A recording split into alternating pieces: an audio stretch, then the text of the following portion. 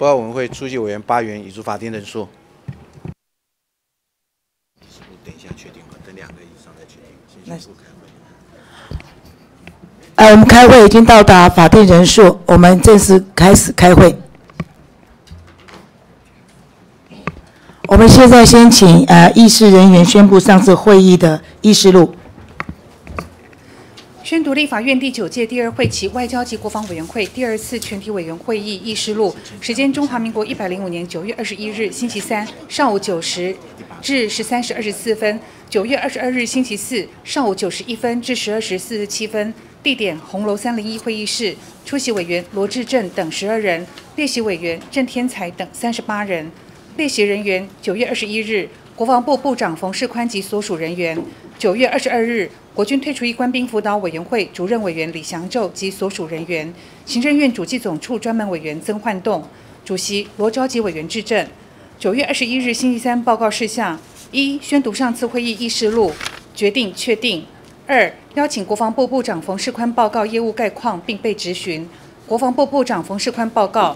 罗维罗委员罗志正等十六人质询，均由国防部部长冯世宽及所属军备局局长何安济、军备局获得管理处处长欧阳立行、军医局局长吴宜昌、战略规划司代司长许朝明、资源规划司司长陈振奇、全民防卫动员室代主任蔡忠诚、国防采购室代主任黄希如、政风室主任古家鄂、人事参谋次长室助理次长周兴国、作战及计划参谋次长室次长江振中。后勤参谋次长室次长尚永强，通信电子资讯参谋次长室次长李廷胜，训练参谋次长室次长陈晓明，海军司令部参谋长梅家树，空军司令部副参谋长郑荣峰及国家舟山科学研究院院长张冠群等积极答复。决定一，登记质询在场委员均已发言完毕，报告及询答结束。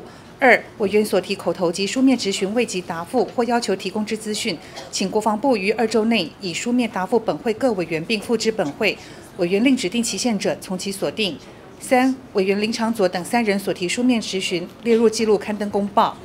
讨论事项：审查中华民国陆军军事教导总队退伍人员协会等三十六件请愿案，明细如下，敬请参阅，并请翻至第六页。决议。所陈建议事项，公请委员于审查相关法案时参考。以上三十六案依立法院职权行使法第六十七条第二项规定处理。临时提案二案：一、工业合作乃国外厂商依采购金额比例换算额度，在国内执行投资、采购、技术移转等活动，主要目的在协助我国产业发展与技术提升。现今我方工业合作比例为百分之四十，观察其他国家工合比例，我方相对较低。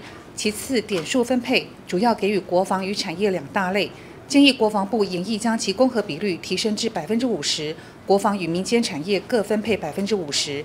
提案人罗志正、吕孙林、蔡世应、刘世芳，决议照案通过。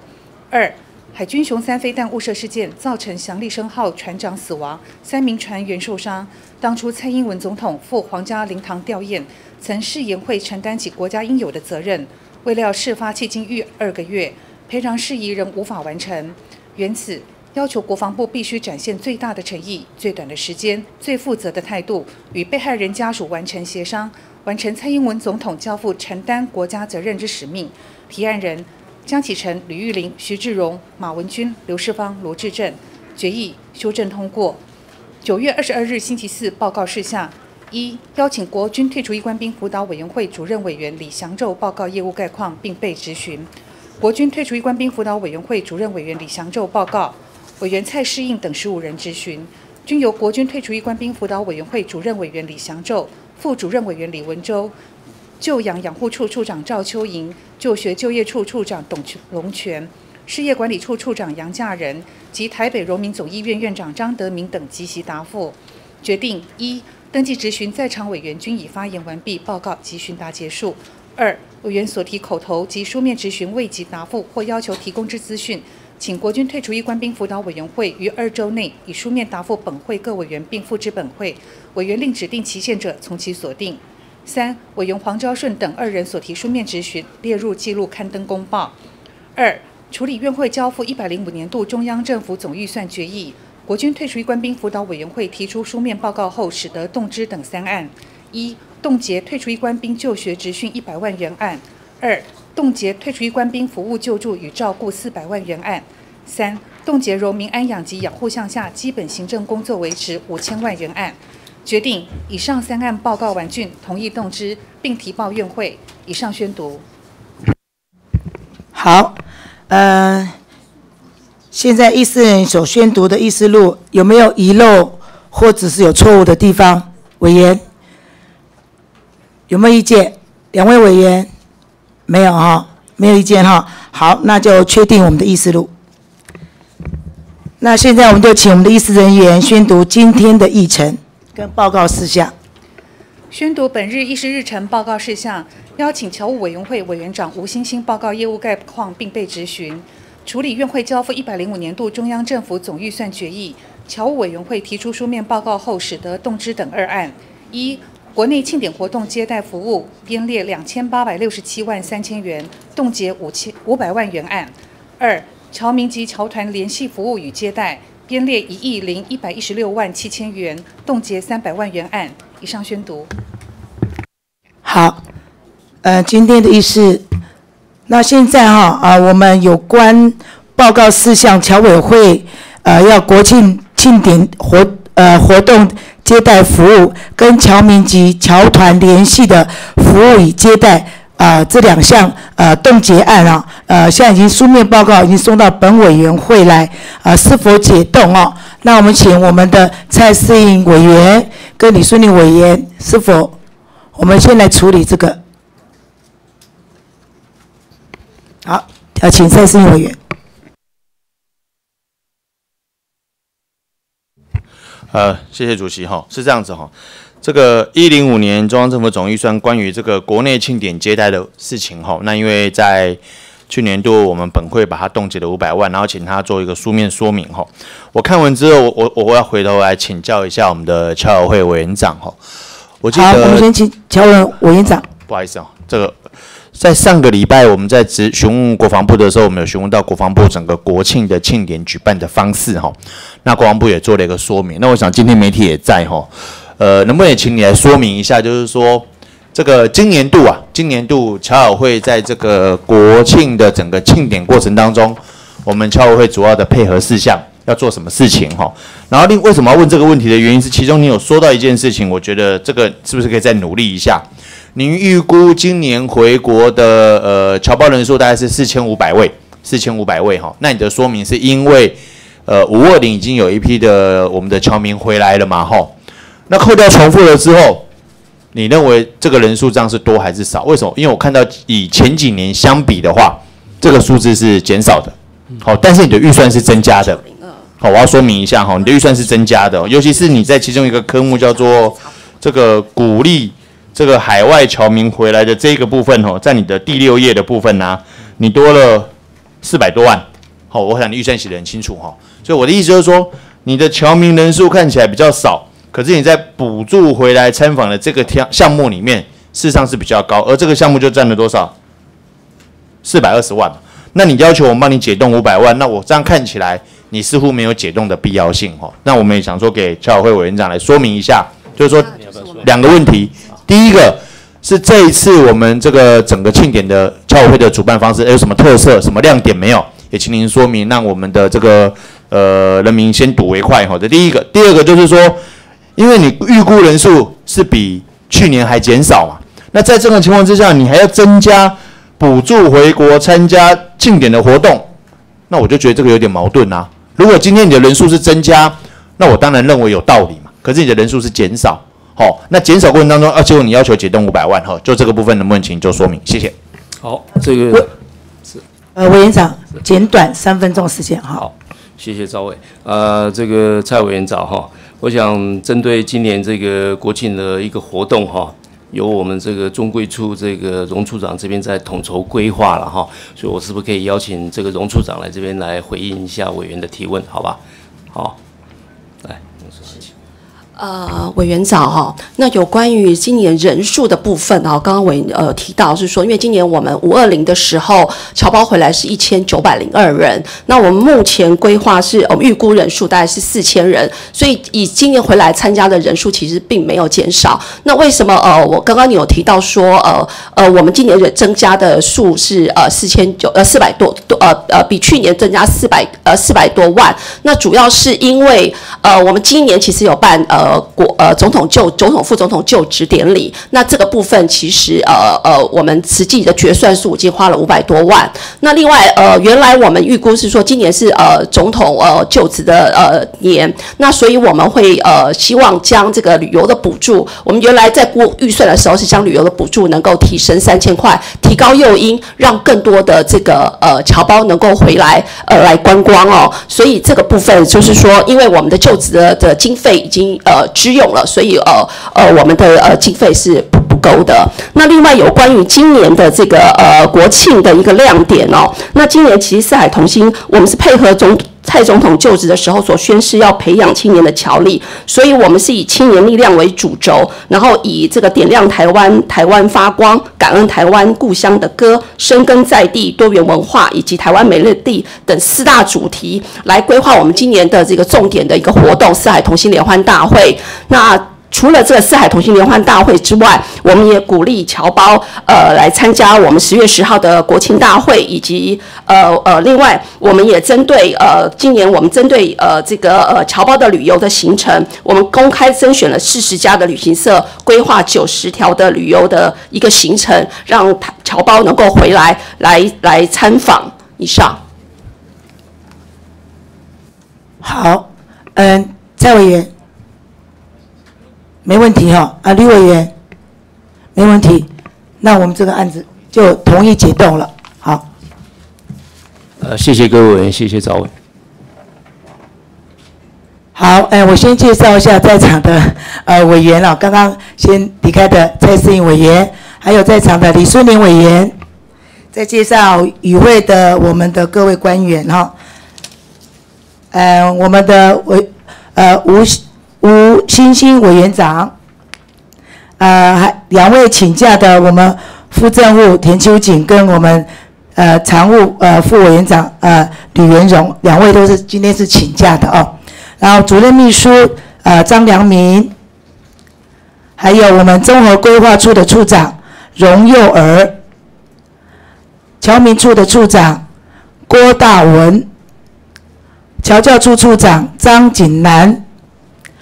侨商处处长汪树华，侨生处的处长庄琼芝，秘书处的主任黄克忠，人事室主任张方琪，政风室的代理主任陈英斌，主计室主任陈瑞美，资讯室主任白忠光，法规会。专门委员徐幼林，华侨通讯社的社长陈义芳，呃，还有我们财团法人海外信用保证基金会的董事长啊，呃林宝熙，财团法人海海华文教基金会的董事长吴松博，财团法人公共电视文化基金会的。副总经理林乐群，行政院主计处的处长、专门委员，呃，曾焕栋。好，以上是列席的各位官员哈。那接下来我们就今天的询答时间哈。呃，现在我们就先针对今天的呃业务报告，请我们的吴委员长。啊，来跟我们报告所有的侨务呃会呃侨侨委会的业务概况，做个报告，请吴委员长。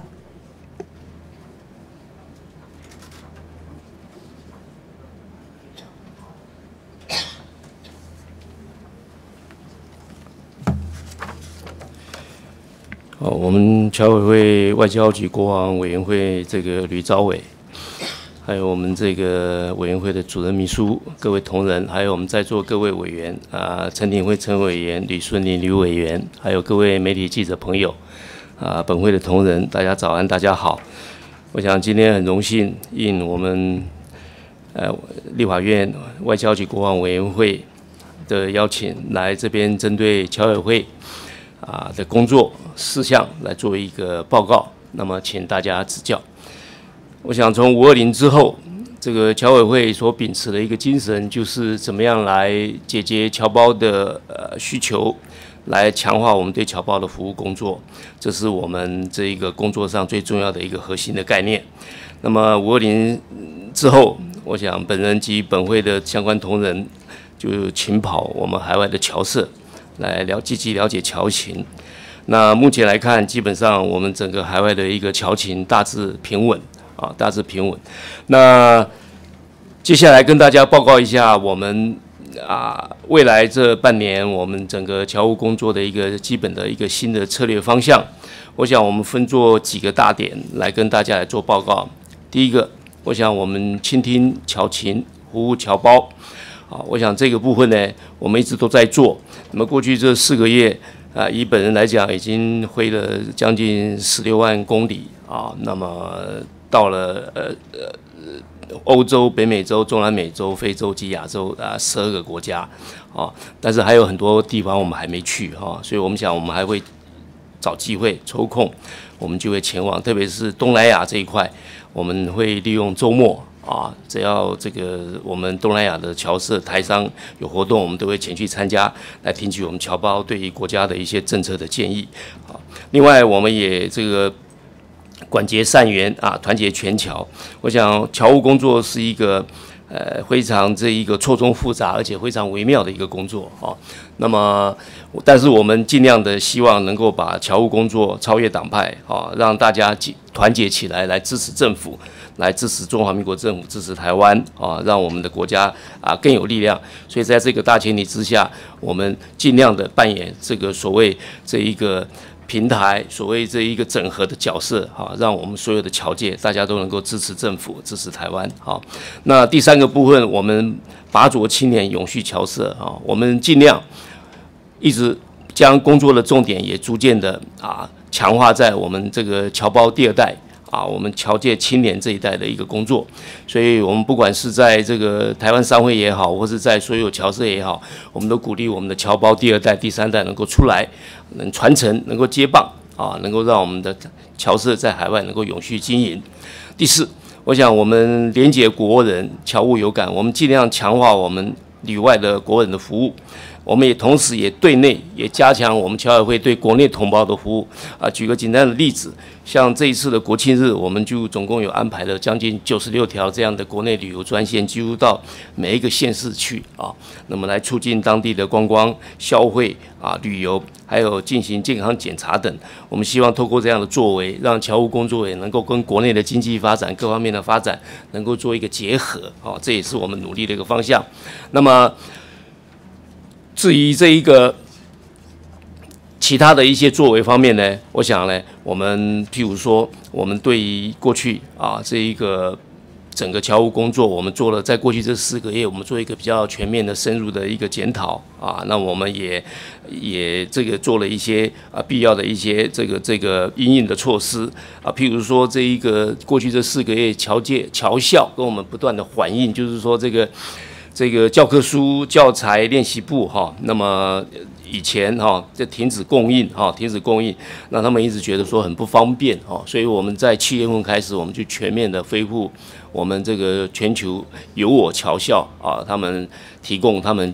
多元的啊，这个华语文的教材、习作，还有练习的光碟啊，这些我们都重新恢复提供，那也得到这个全球侨校他们这样的一个高度的一个肯定啊，那这就是一个很好的例子哈。那另外呢，我想我们也做了一些检讨业务，还有些问题的解决。那么第一项就是包括这一个 我们务实的处理巴黎华侨文教服务中心的一个设置案，因为在民国一百零一年，行政院同意侨委会。那么在巴黎设立华侨文教服务中心，那么给了两亿元左右的预算，但事实上过去这五年来，两亿元的预算在巴黎，因为物价飞涨啊，特别房价非常的贵，几乎买不到房子啊，几乎买不到房子。那我们的同仁也很认真，大概总共找了二十九家中介公司啊，那么勘察了九十七处的场地啊，但是这笔经费。就是没办法买到这一个理想的一个房子，那除非就离开巴黎很远，开车要呃一两个小时，但是买在那个郊区，大概侨胞也不方便去使用，所以在这种情况之下呢，我们就评估，我们也跟侨界、跟我们法国代表呃代表处的大使啊，还有我们这个法国的侨界，我们也就交换了意见。那大家也得到一个共识，就是说，那现阶段在巴黎设置侨务中心，大概也不是一个很迫切、很急需的一个一个一个这样的一个必要。所以呢，我甚至在九月上旬也亲自访问巴黎，也跟当地的侨界，我们都面对面的座谈。那最后呢，大家都同意。这个案子我们就暂时停止。那我们也在七月二十五号，那么新闻给行政院也获得同意。那我们把这个两亿元的公帑，我们就缴还给国库。啊，这是有关巴黎文教中心。那么以后我们会看实际的情况，如果有需求，我们可以再跟行政院来啊来来争取啊。这是第一个啊，我们务实的来处理巴黎文教服务中心的这样的一个案子。第二个，我们也针对宏观周报。这样的一个转型啊，我们做了一个规划。那么我们知道现在是一个一个数位阅读的时代啊，所以传统上这种纸本的这个宏观周报，基本上在海外目前已经啊。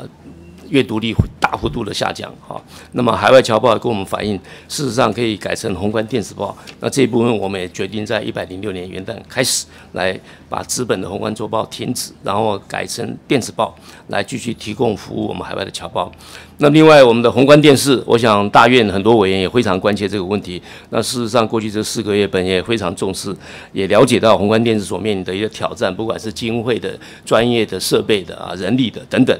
所以我们现在已经呃，行政院相关的部会，包括呃文化部，包括这个客客委会、原委会，还有我们呃原民会哦，原民会，还有我们侨务委员会，我们现在这个准备要尽快的来开一个跨部会的协商会议，针对相关的这一些我们国家在国际上文献的事情啊，这一个呢要做一个相关的一个讨论，还要做一个整合啊，这一部分呢啊未来都会来做处理。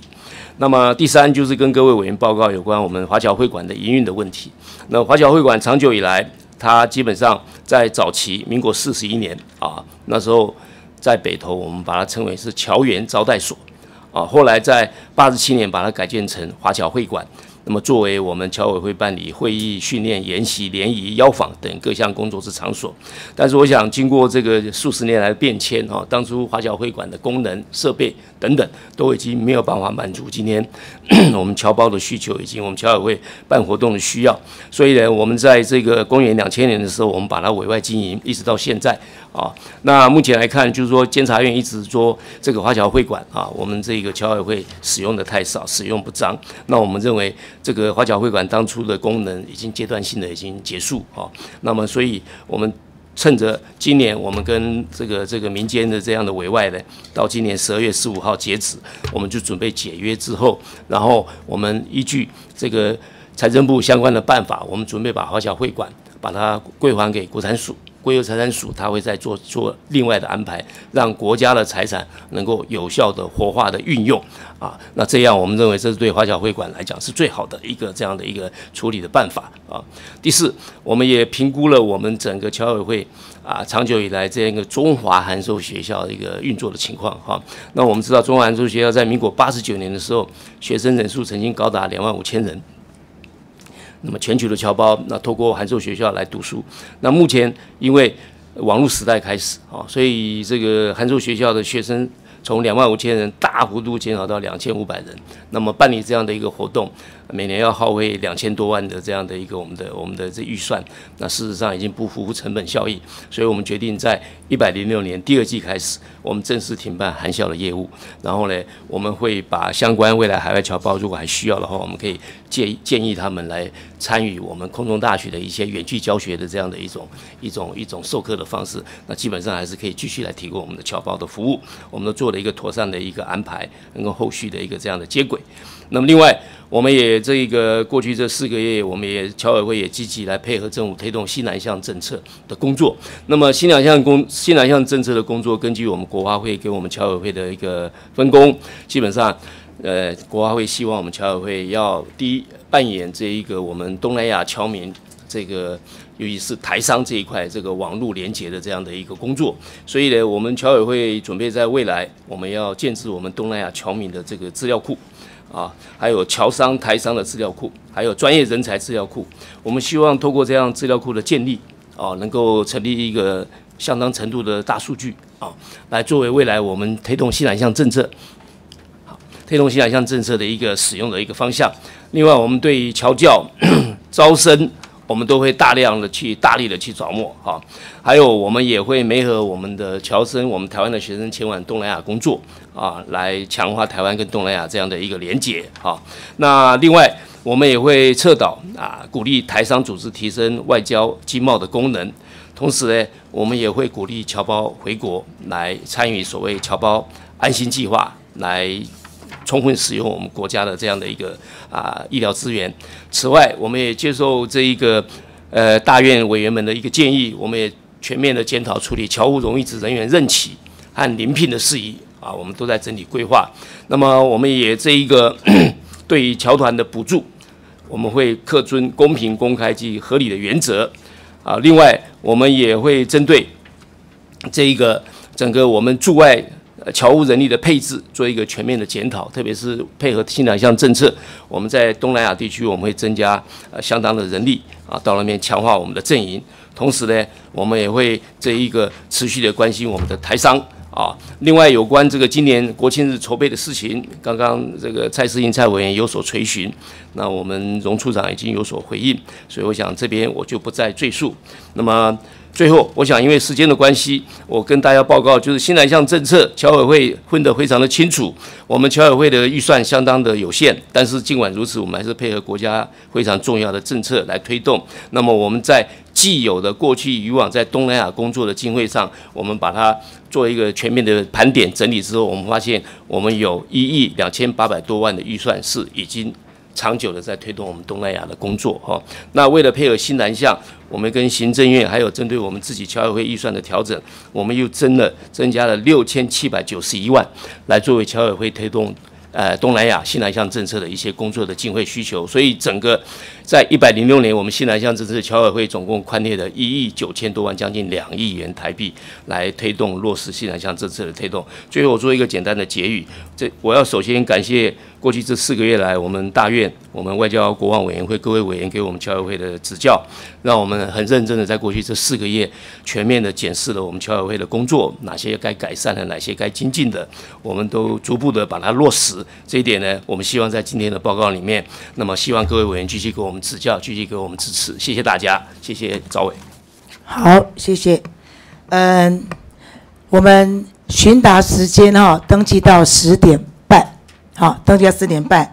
那现在呃，每一位本委员会的委员，呃，询答时间是十分钟，啊，得以延长两分钟，十加二。非本委会委员会的委员是八分钟，八加二啊。那现在我们就先请蔡世英委员。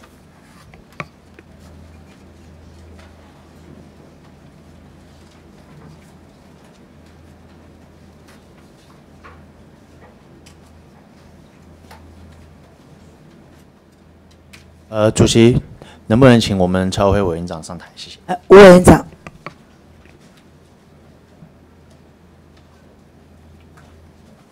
蔡委员早。哎，早安吼。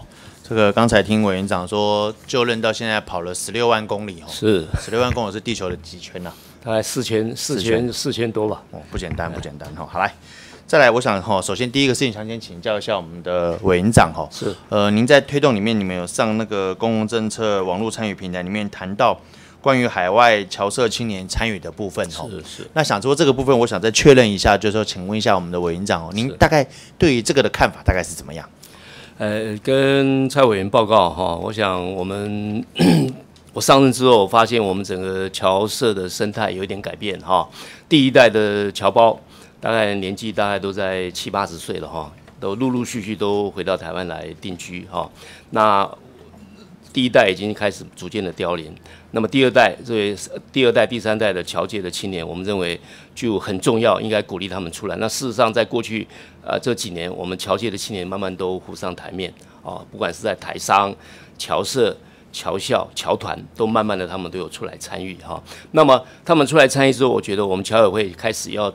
转型要重视到我们这边侨界第二代、第三代他们的需求，怎么样来培训他们，怎么样来强化他们在海外领导、组织侨团、社团、商会的这种能力。所以，我们侨委会在今年的、明年的这样的预算里面，我们就编列了各个处室，侨民处、侨商处、侨教处，我们都编列了相当的预算，来为我们侨界二代、三代来办理相关的活动、培训的活动、访问的活动，让他们认识台湾，强化他们的这样的领导的。所以，这有点类似我们的海外青年大使这样的一个。概念哦，那我是觉得说哈，这里面除了侨民之外，包括我们的留学生呐，是长期在国外的留学生或者当地台湾的学生会会长，其实我们到时候我们在侨委会在这个部分都可以把它纳入，好吧好？OK，好。再来就是我想请教一下哈，我们最近我们这个侨委会是不是有上呃德标民传大学标了一个案子，叫做侨务委员会任务功能与组织定位民意调查分析？是，好，这个是一次性的还是常态性的？这是一次性的，一次性的。你们题目有哪些啊？我们题目还蛮多的哈，有一个问卷哈，因为跟蔡委员报告哈，因为我上任之后哈，我问了我们同仁，就说我们侨委会有没有自己做自我体检、自我检视，就是我们怎么国内人民怎么看待我们侨委员会哈，所以我们做了一个这样一次性的这样的一个。那你认为里面最关键的问题是什么题目？关键的问题有吗？有题目吗？那个。问你问你年龄、出生地那就不需要了。你们认为最关键的问题？我们总共有三十六个题目，三十六个题目，哎，包括就是说我看看哈，这个，包括就是说先了解他们对侨务工作哈有没有一些基本的背景了解了哈。那么问他们就是他们认为侨委会是在国内的一个是什么样的一个定位哈？那他们认为侨委会啊未来应该要有什么样的一个功能的展现？还有对于各个处室，对于侨教、侨民处、侨商处等等，他们希望未来侨委会应该要怎么样的努力？我想问一下哈，大家很关心这个侨委会未来的组织再造、合并，或者是这个这个合并的部分有没有讨论到？有没有列出去题目？有，题目是怎么写的？也问了民间，现在还没做完。哦，题目题目是怎么问的？那个题目是怎么问的？来。其实侨呃题题目主要是问说呃侨委会呃您知不知道侨委会的存在？然后侨委会有做这么多事情，你觉得侨委会呃它是不是呃有跟跟部部会整并的一个必要？嗯嗯，对，好。你所以你前面还先讲一句前提，就是侨委会做了很多事情，所以你全部必要。我们还是要替自己宣传一下。你这个题目人家会说你这个 有先入为主的，不，不过我觉得应该要问了哈，就是说呃为什么要这边特别看到这个民意调查，我就特别要询问这个问题的原因是说。我想委员长，你现在看今天媒体来没几位哈，代表我们这个侨委会不是被大众给关心了。是，好，现在今天大家都在关心这个经管会的案子哈。是，所以我刚才本来想随口问你一句，说这个对于巴拿马分行那边你的信保基金有没有在没有参与哦？等一下再问你。就是说，侨委会在这个部分，其实就是要去去为什么大家大众对于侨委会没有很关心？大家觉得侨委会好像似乎可以合并掉这样的一个很多的声音一直出现，所以我这边还是要肯定一下我们侨委会哦，至少。自己把问题丢出来，做一下问卷，了解一下我们国人对这个问题的看法。我觉得这是有必要性的哈。好，谢谢委接下来哈，我想呃，你里面讲了许多的一个回答哈，那里面有几个案子是我过去长期以来一直在询问的。那我在这边也很感谢我们的委员长，其实也有就这些部分提出后续的处理的方向哦。但是我还是要跟你确认一下华侨会馆的部分哈。华侨会馆的部分，想你解得很清楚，就是说，事实上你们认为它的服务的功能已经降低很多了嘛，哈，也因此你们要做这个转型。那转型里面有两件事情要做的哈，第一个就是你们把它移交国产所，改成非公用财产嘛，哈，明年度啊，这个国产所你们跟他谈过了没有？呃，谈过了，谈过，他也愿意嘛，是不是？愿意。行政院我们也谈过。OK，好，那再来第二个问题是，之前有请教过你们的哈，你们之前说华侨会馆有两层楼放你们的档案室嘛？是。那未来这个档案室怎么办？这个跟委员报告，我们现在已经在积极的在寻找档案室。我在另外寻找了档案室。OK，好。那我之前至少我我有询问过你们对于我们的档案数位化哈，为什么哈？我我很好奇哈，我们的档案是是哪些档案呢？是过去呃，因为这个孙文孙中山先生讲说华侨是革命之母嘛，所以我不晓得我们侨委会存在的资料有没有从一九呃从清朝末年开始啦。二十世纪初期啦，很多侨务工作的相关的史料等等，我不晓得这是有没有在我们的档案库里面是。跟有没有蔡蔡委员报告？这个侨委会事实上已经有八十五年的历史，对对哦，所以从民国十二年开始就有侨委会，对所以相关的党卷从民国十二年开始，大概都存放在我们现在华侨会馆。最想、啊、那我想问一下，你们现在档案数位化的部分做了百分之多少了？我们现在已经做了差不多，呃秘书秘我们秘书室主任说明一下。目前哈，就是我们这个呃数位化的话，就是说现在我们现在公文只要哈这个归档哈，我们全部通通都扫描。我知道了，我好说之前。然后那个之前哈，我们呃在呃九十二年的时候，那时候我们有做了一批，哎，那所以基本上是我们大部分都都都已经。那我举例来讲哈，你说呃，一九二三年，民国十二年开始，我们就有成立了嘛？比如说对，就二零年代、三零年代、四年代、五零年代，所有的档案全部数位化了没有？全部数位化没有？现在还不晓得吧？回去查一下，回去查一下。好，我们回去查。为什么我这样讲哦？因为哈，公文是这样子啊，我想委员长也很清楚、哦。是近代的公文，最近的公文当然就是我们中文承办的时候参考资料嘛。对，旧公文其实就是一个历史史料的一个查询然后那我会认为说，其实就侨委会来讲，它它其实有很好的历史资料的查询，未来在这个部分，也许可以供公众查阅啦等等。那电子资料库就是一个很重要的一个东西哈，所以这个部分我想说。居然之前我有提到，那委员长是当时你也讲过，你们要推动这个部分，好麻烦你们定个进度表出来。我们把它做得更好 OK，。谢谢。再来就是侨委会荣誉职的这个荣委员吼，我们前两天这个世界台商会在圆山饭店召开吼，那呃九月十七号晚上侨委员会有做东邀请我们所有的台商会吼，对，那一天台风还蛮大的哦，这个委员长还亲自参与吼，真的非常的令人敬佩哦。不不，应该的。那但是这里面哈，我想我所了解好像是现在是澳洲台商会会长接任世界台商会的会长嘛，啊，是不是没错嘛？好林，建松，哎，对，好，再来，我想问一下，就是您里面有写到关于这个侨务委员的部分哈。那之前我们也提到说，这个其实有它修订的一个必要性。为什么要问你哈？我很看很高兴的看到，至少你们已经说明在侨务咨询委员、侨务顾问跟侨务促进委员的部分，已经要把它从三年改成两年了嘛哈。对，而且从今年的九月一号就开始任命开始好，那现在九月一号任命开始，委员长你任命多少位？现在已经是两年以上的，呃，两年任期的。哦，我们这一次任命的大概有五百多位，这个除了侨务委员之外，对对对。是荣誉职人员，所以啊。五百多位都是任期两年。都是两年，五百多位都是任期两年年。就对了哈，都是两年。所以这个已经好，那这样非常的感谢哈。那再来一个就是我一直另外一个主张就是含侨务委员，未来要改成两年哈。那这个案子我们已经呃已呃经在推动，对正在推动当中哈。那未来部分也要拜托我们侨委会，我们一起来努力哈把它整个来做一个改变哈。会，那我为什么要先讲这个哈？我们就发现其实是呼应刚才委员长你刚才讲的前面那一段话，你会发现侨界的生态改变了，是老的跟年轻的有一个相当程度的落差哈。是是，呃，我想问一下委员委员长哈，你侨委我们以侨委来讲，目前有一百七十位嘛哈，是。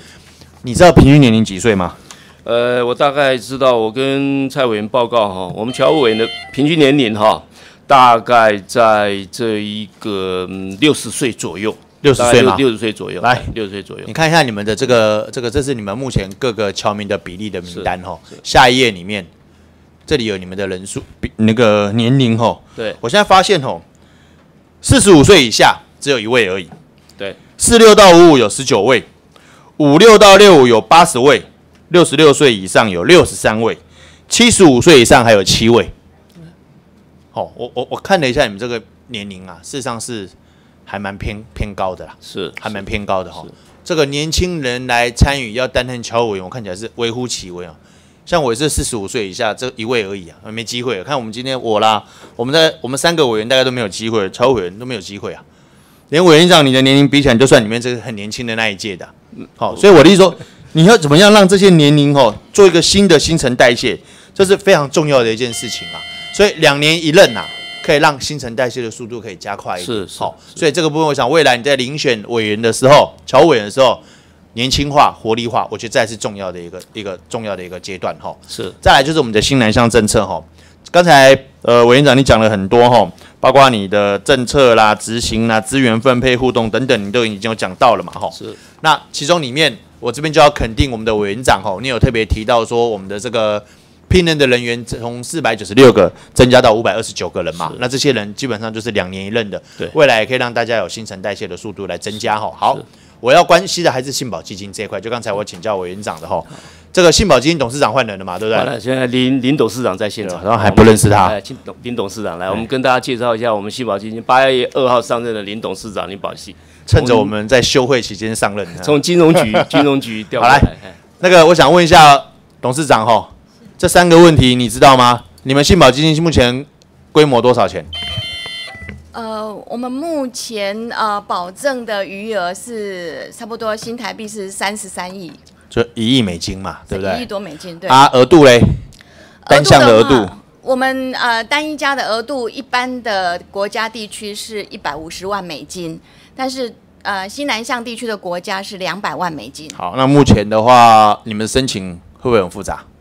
哎，我们程序相当的简单，只要它是属于侨台商，呃，侨商的话就是呃是属于侨呃我们驻外单位有证明它是属于侨民设立百分之五十以上的公司，那台商的话也是属于我们中华民国啊、国民登记设立百分之五十以上的公司都可以来。对啊，那他在海外投资，他的保证拿什么来做保证啊？哎，其实哈，还是不用保证我们信用保证哈，并没有要求一定要有担保品或是保人，但是因为银行它也负担一部分成熟的风险，所以银行有时候它会有这个要求，但是这不是我们的必要。那它的担保品，海外担保品可以用吗？哎，还是一定要国内担保品啊？海外担保品，如果在当地可以国当地的分行它可以受理登记的，它还是可以用。我为什么这样问吼？这个推动新南向政策里面呢、我认为大概有两个关键的东西。第一个就是我们去那边投资嘛，第二个就是我们的人到那边是承揽相关的公共工程，你写的有一兆的相关工程的这样的一个金额哦。我不晓得我们的信保基金哦，我为什么这样讲哦？我觉得我们的信保基金的总金额，如同刚才我们董事长讲的，一亿美金而已啊，一亿美金到底能干什么？这种量是非常少的，你你的额度里面只能给中小企业啊，你要做国家级的，那是不可能做得到的一个工作目标啊。所以我为什么才说这个？之前我也问过董事长，我会认为金额偏低。我们的国发会啊，说要搞一个一兆的，是不是啊？说国发会也说一千亿的啦。我不晓得国发会的一千亿的国家级投资人要放在哪里，但我认为现阶段就有一个海外信保基金在放在那个地方，侨委会应该就这个部分跟国发会来谈。未来如果我们希望以新南向政策或或者是海外的投资来讲的话，应该要能够跟我们的这个信保基金能够结合，海外信保基金能够结合起来，我认为这个力量才会更大，而不是说在海外信保基金又成立另外一个东西，那我觉得就只是叠床叠床架屋而已啦。这跟蔡委员报告一下哈，这个问题已经有跟这一个邓正中政委哈，嗯我们上礼拜已经交换过意见哈，对我们大概会去找这个金管会丁克华主委，嘿会针对侨信保这个基金的规模，嗯，怎么推配合推动新南向政策，我们会做一个对啊，很重要哈。所以董事长你听到了没有？所以你你如果哈只是想要守成的话，那就是这个规模。可是如果新能够有一个新的开创跟作为的话，这是一个很好的机会，配合国家整体的政策啊，对于海外的这样的一个投资，哦，包括我们去承揽海外的工程等等，那我认为如果有海外信保基金来做一个后盾的话，会有更多的企业愿意到海外去做投资，也配合新能源政策或者呃吸收海外的这个业者跟我们本地的业者来做合作等等哦。所以我在这边我还是吼来要求我们的这个侨委会委员长跟我们的信保基金董事长吼，就你们的内容来看，我希望你们也提出一个你们自己内部的版本出来。好，那未来在做跟相关的单位在做沟通的时候，至少侨委会有提出自己的想法，来跟我刚才讲的呃这个国发会啦，或者金融监理委员会等等来做沟通。那我认为有一个新的版本，我们未来的方向做的才会更好。好，以上谢谢。好，谢谢蔡委员的指教。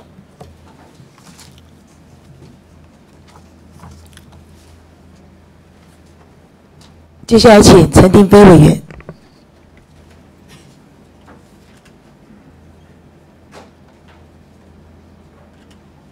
谢谢主席，我们请委员长。吴委员长，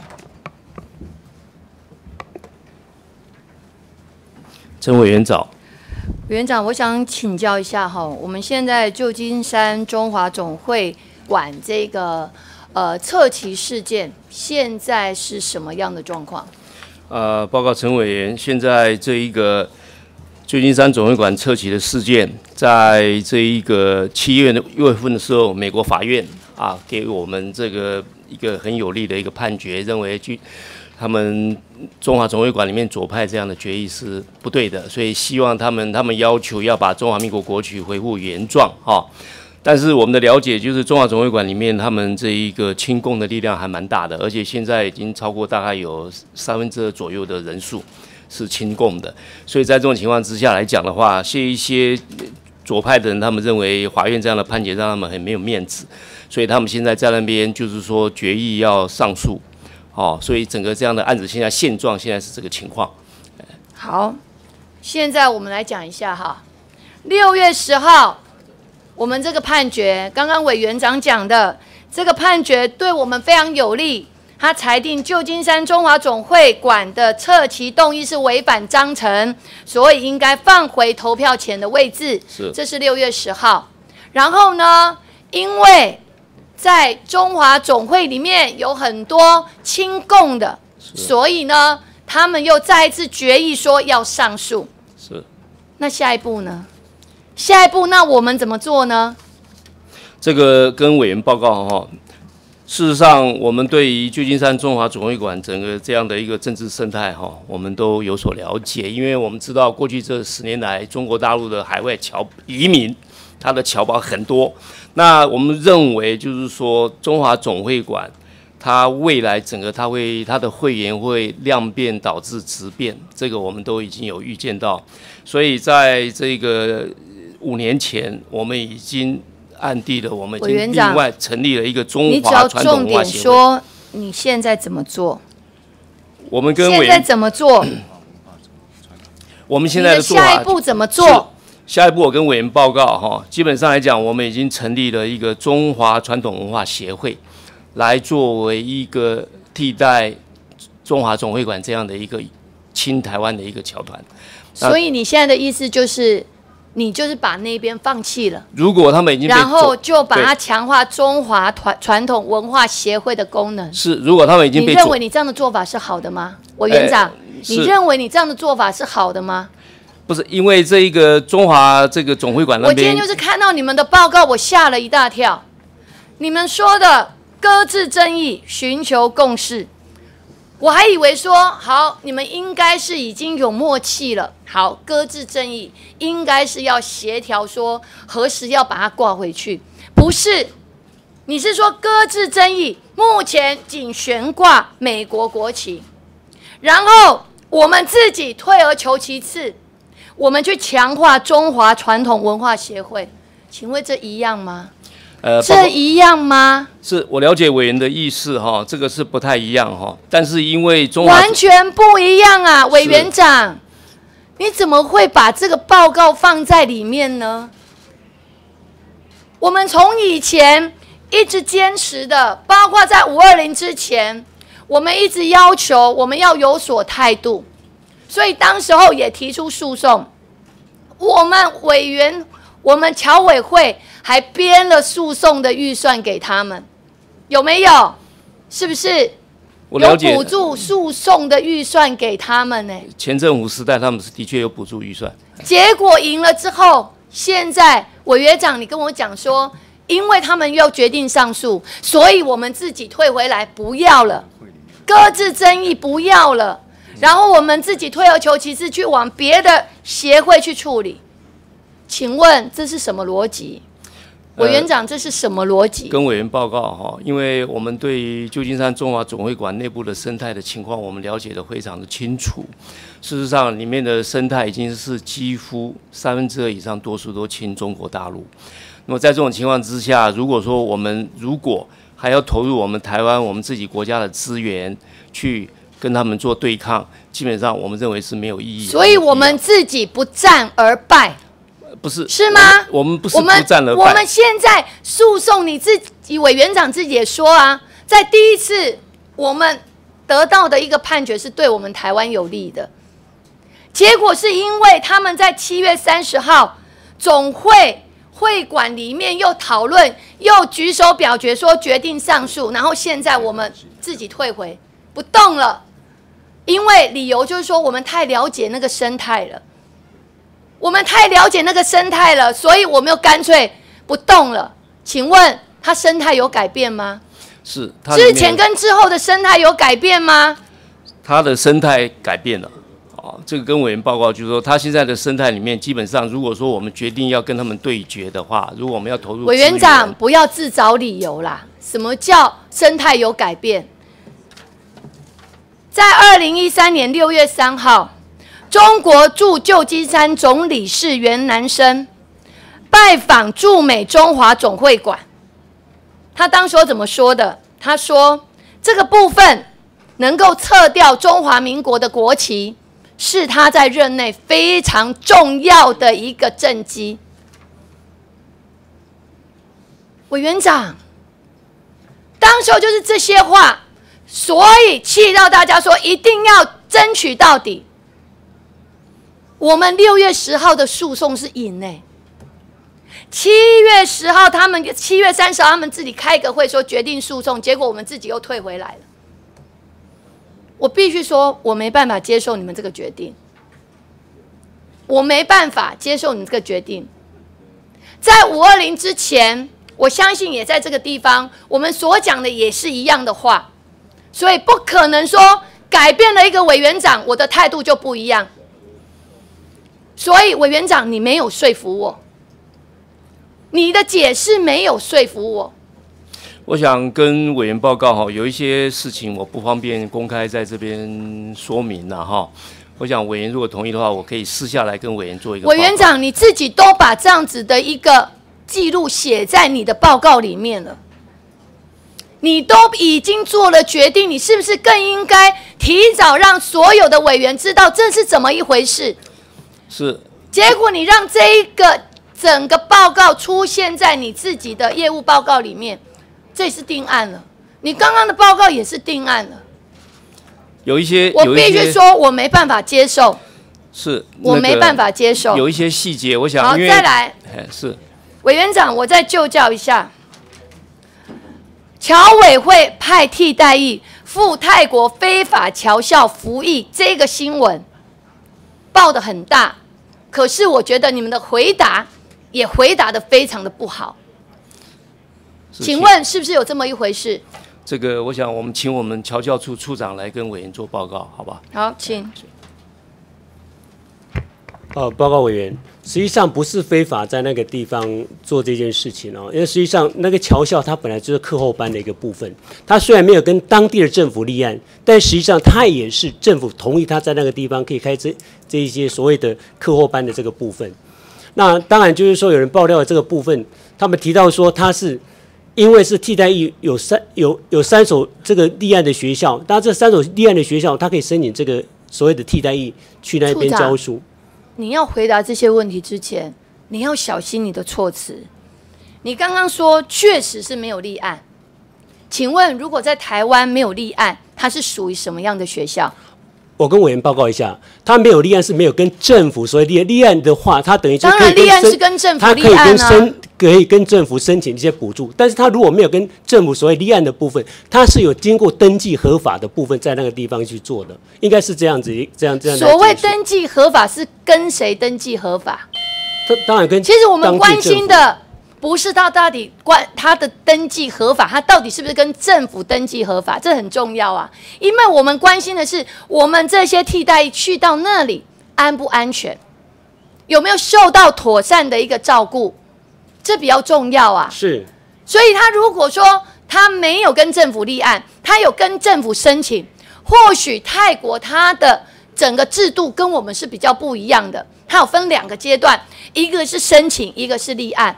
可是你要解释的非常清楚啊，因为我们认为说，今天在泰国，它目前是军政府状况，所以它很多的整个形势会是比较动荡，而且我们比较没有办法掌控，这你不否认吧？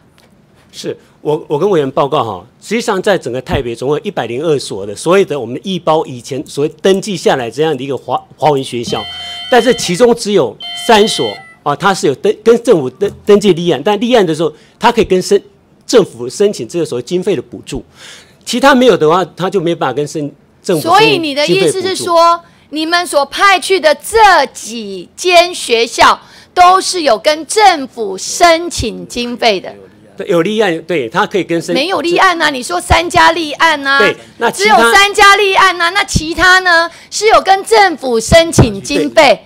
对对是有申有有那申请问他跟政府申请经费，哦各方的条件就表示他是安全，他是稳定，是没有问题的吗？我我跟你要去做这个保证啊，因为你们今天这个新闻一出来，你们的回答其实我把矿料补撒撒。我我跟委员长报告，呃呃，跟委员报告哦，实际上就像美国也是一样，他有一他有一些课后班，但课后班他实际上他没有办法跟申请跟政府申请经费，但是他都跟跟政府他都有报备，有有合法可以同意他在那个地方去做所谓课后班的一个部分。这个这个是本来就是每一个国家都是有这样的，只是说不你是每一个国家，今天不一样的是，我们派了我们的替代役去那边协助，是这个是不一样的。当然，很多国家当然它有很多的制度，现在是我们派了我们的替代役去协助。去到泰国的学校协助，那么如果他们是在于立案的学校，当然我会比较安心嘛。是没问题那现在处长说，他们还有另外一个部分，就是可能是跟政府有申请经费的。那你掌握的这些资讯多少？这是我们比较关心的啊。这个因为你替代派到那里，我们今天如果没有派替代役，那当然没有问题啊。他国家怎么样去立案，怎么样去核准经费，那是他国家的事情啊。但是现在是我们派了替代役去协助，我们就有责任去 confirm 这所有的一个学校的状况，这才是对呀、你北塞普萨萨，你们抓不到边际，那你们都抓不到边际，那我们的替代役怎么抓得到边际啊？那家长会不会担心？呃这篇新闻出来，其实有冲击耶。是，谢谢委员的关心和指教哈。事实上，跟委员报告哈，所有我们能替代依兰到，因为那个学校都在台北地区，条件比较艰困的地方，所有我们的替代依兰到那边当地的侨领。侨校都跟我们侨委会跟我们住宿都有密切的配合，所以替代依然的安全绝对没有问题。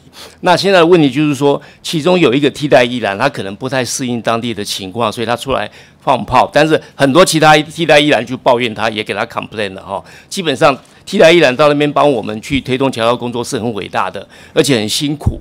那我们派去都是合格政策有利有有所登记的以学校，就是因为我们知道有替代愿意去到那里，我们是要给予鼓励，而且要给予更多的照顾。对对，我们不能让这些大家的疑虑然后存在。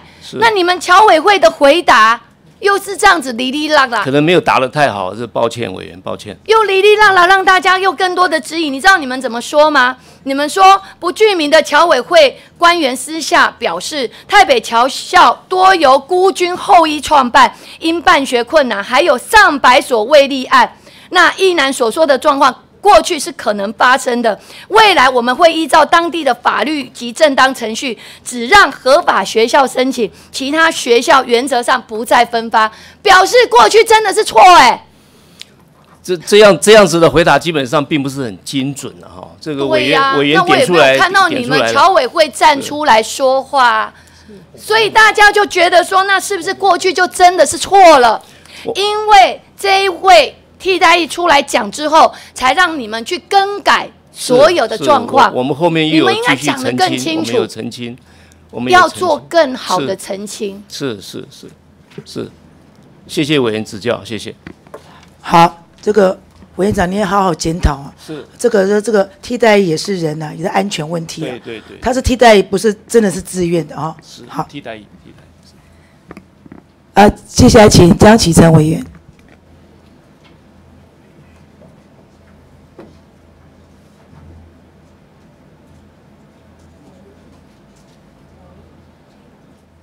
好，谢谢，请主席，呃，请委员长。请委员长。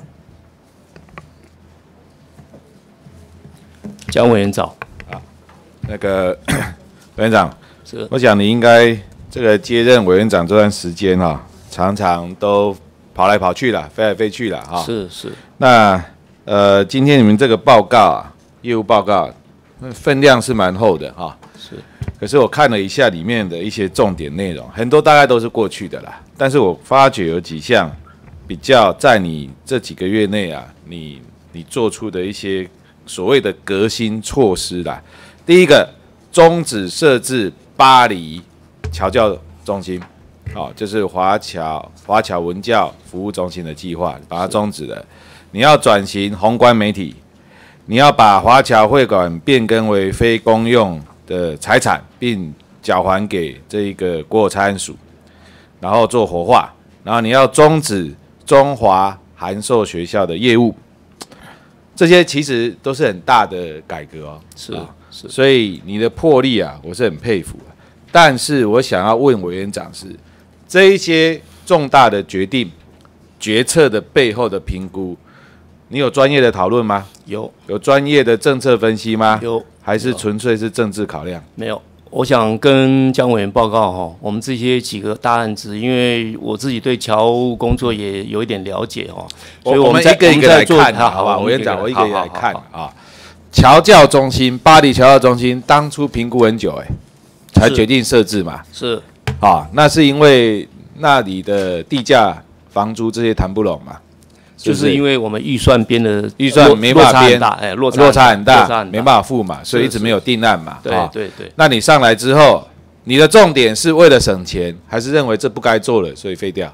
这样子哈，我们多方面考量，我们跟会内同事也大家集思广益了哈对，大概就是几个考量，一个就是说预算的确落差很大，对。那我们也了解，如果去跟行政院去再增加追我，先问一下有困难。委员长，哎是你评估你们评估过巴黎侨教中心设置的效益如何？好，这个谢谢委员问到这个重点啊哈。基本上我们最后决定不设置巴黎文教中心，我们是因为没有这个效益它的效益没有我们预期的那么高，因为现在那边的侨胞都回流了，都回到台湾这。是这一两年的事吗？大概过去这几年有这个现象，过去这几年，哎有这个所以当初决定要设的时候还有效益，是五那那个大概五六年前到今天以后没有效益了，就是侨胞这样吗？回流的情况，确定？是我希望这个不是草率的评估，不会不会不会啊，或者是说，哎，换一个政府之后，这些重大决策都重新来。不会。不会那宏观你怎么转型？宏观周报，宏观周报它是资本的，那现在我们把它变成电子报。宏观，所以是宏观。你所谓的转型宏观媒体是要把周报变电子报，不不是不是，跟江委员报告是两件事，一个是宏观周报，一个是宏观电视。哦宏观电视，宏观电视要关吗？宏观电视现在没有，我们可能要跨部会要讨论，要怎么要？你要你要打算怎么做？这个大概也没有办法由我侨委会来主导啊，这个可能到最后行政院会有一个政委来协调文化部、侨委会、还有客委会、还有原民会，因为大家手下都有电视，哎，所以可能看看怎么样要要合并吗？资源要同，我现在我都不知道，因为这不是我你不知道哎，我不是我可以主导的，哎，但是但是已经有在注意确定要有在确定要转型。对，有注意这个事情，因为我们知道宏观电视的效益并不是那么理想，哎，他每一年花多少？哎，大概一亿三，去年是一亿三，一亿三千万，目前几乎都是网络嘛，现在都卫星，卫星、卫星，卫星跟网络呃，网络也有，有一部分，卫星也一部分。收视状况不好，是不是？，对，收视收视率不是很理想，因为现在海外侨姜文也知道，海外电视媒体太发达，没有错。太发达了。好，那终止中华函授学校业务呢？哎，这个跟委员报告，我我这个报告我请教，先请教一下，是他的业务规模多大？然后，然后你们用多少人做这个业务？然后每一年花多少钱？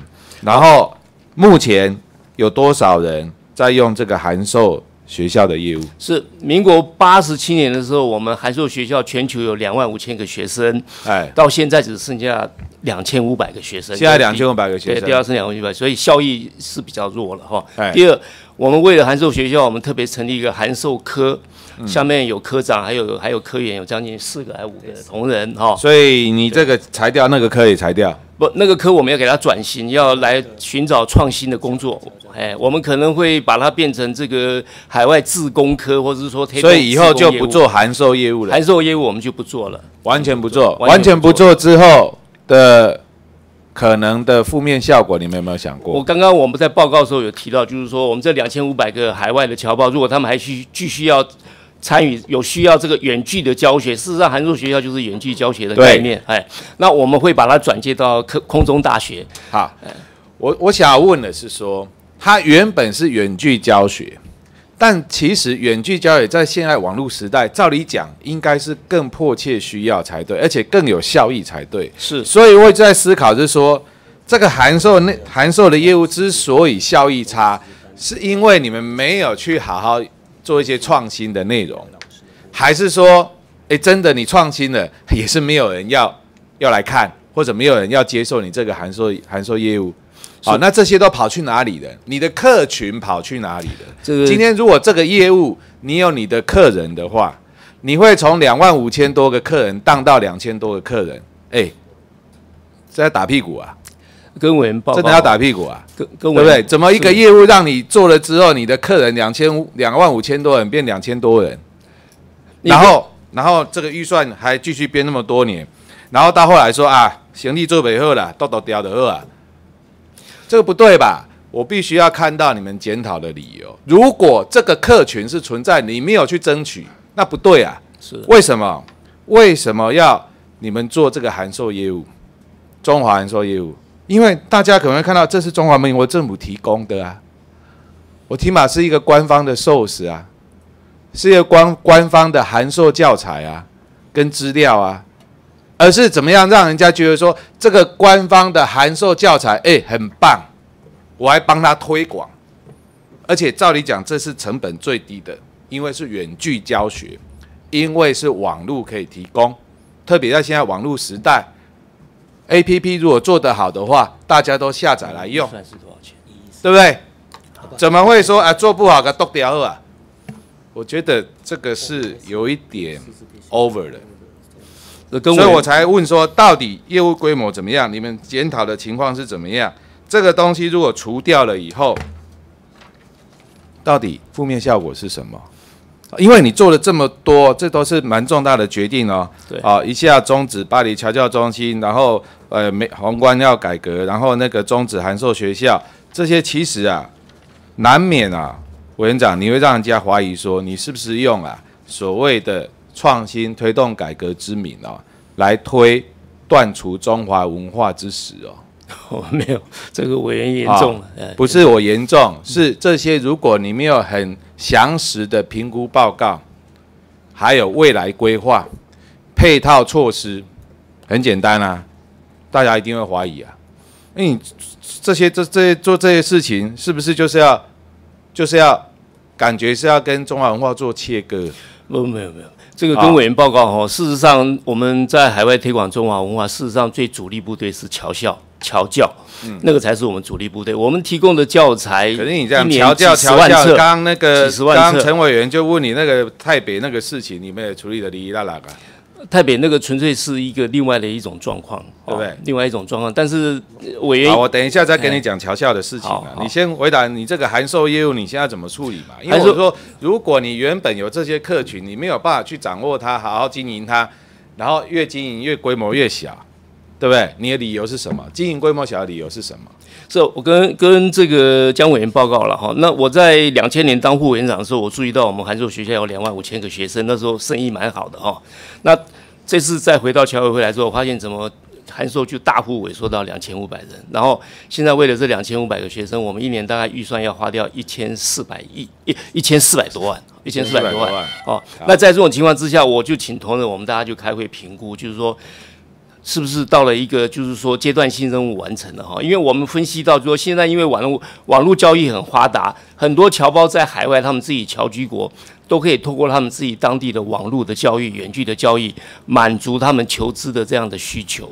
所以在这种情况之下，我们觉得就是说环境变了，时代变了哈。那我们的资源，因为侨委会预算也不多嘛哈，我们这资源是不是有效的运用？我们大家是从这个角度去我觉得还是要看你的侨委会的定位是什么。是如果赵委员长这样讲，你们很多业务都可以砍掉，是包括宏观电视也可以砍掉，有太多媒体了啊、是对不对？有太多资讯可以得到中华民国台湾发生什么事情是，为什么要宏观电视？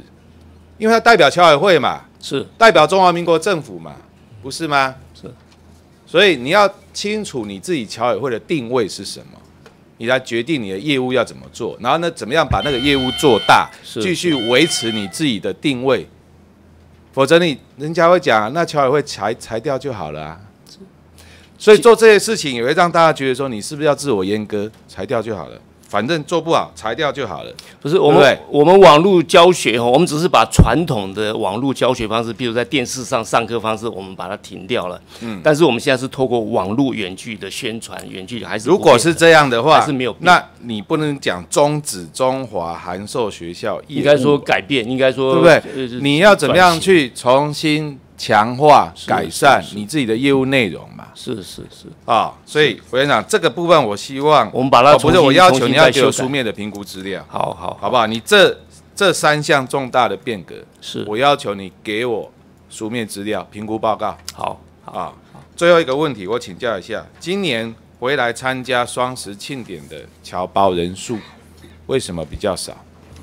呃，刚刚我们处长已经有提到了哈，事实上今年回来的侨胞人数比其实跟去年差不多了哈。那今年年差不多就是没有预期的是那么多，就是因为今年今年五二零哈，嗯，有很多侨胞已经回来参加总统就可是。同样的情况发生在二零零八啊、二零一二啊，都有总统大选啊。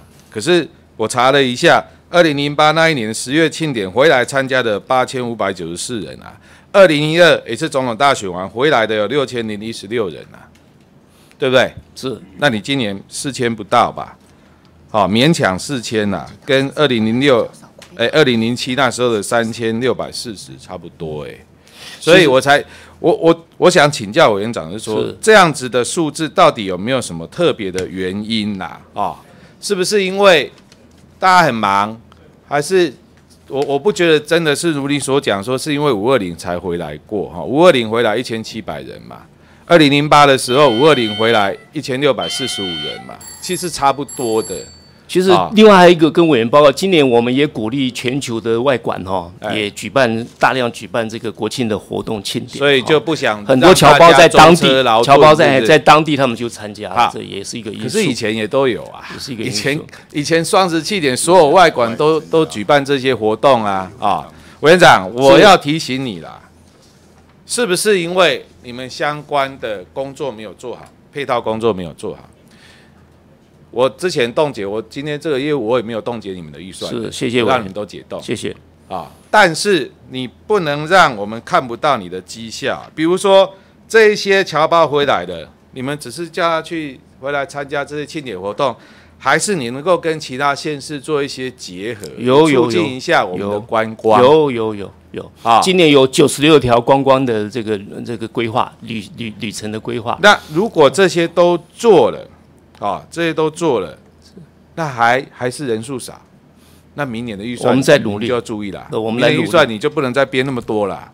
我们会努力，谢啊谢委员指教。对不对？我们是希望我们欢迎侨胞回来，是是是但是你侨委会如果做不到的话，你这业务做不好的话，就两个嘛，一个就委员长你要负责啊，是啊，第二个就是业务预算要减少啊，是，对不对？你给我们一个理由，给我们一个原因，给我们一个分析。如果真的如你所讲，是因为大家不想舟车劳顿不回来，不是因为不爱国，那这项业务费以后是不是要减少？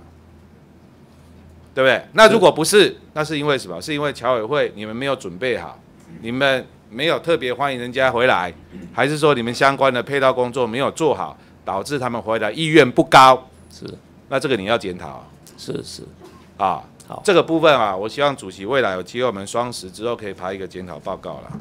啊，好，好谢谢谢谢江委员。好，谢谢。委员长，刚刚陈那个江启臣委员要的那个书面评估报告啊是，你大概一个月给本委员会的委员每个人都一份，好，好不好？好，是，谢谢。好，请问。接下来请罗志正委员。呃，谢谢主席，可不可以请委员长？请委员长。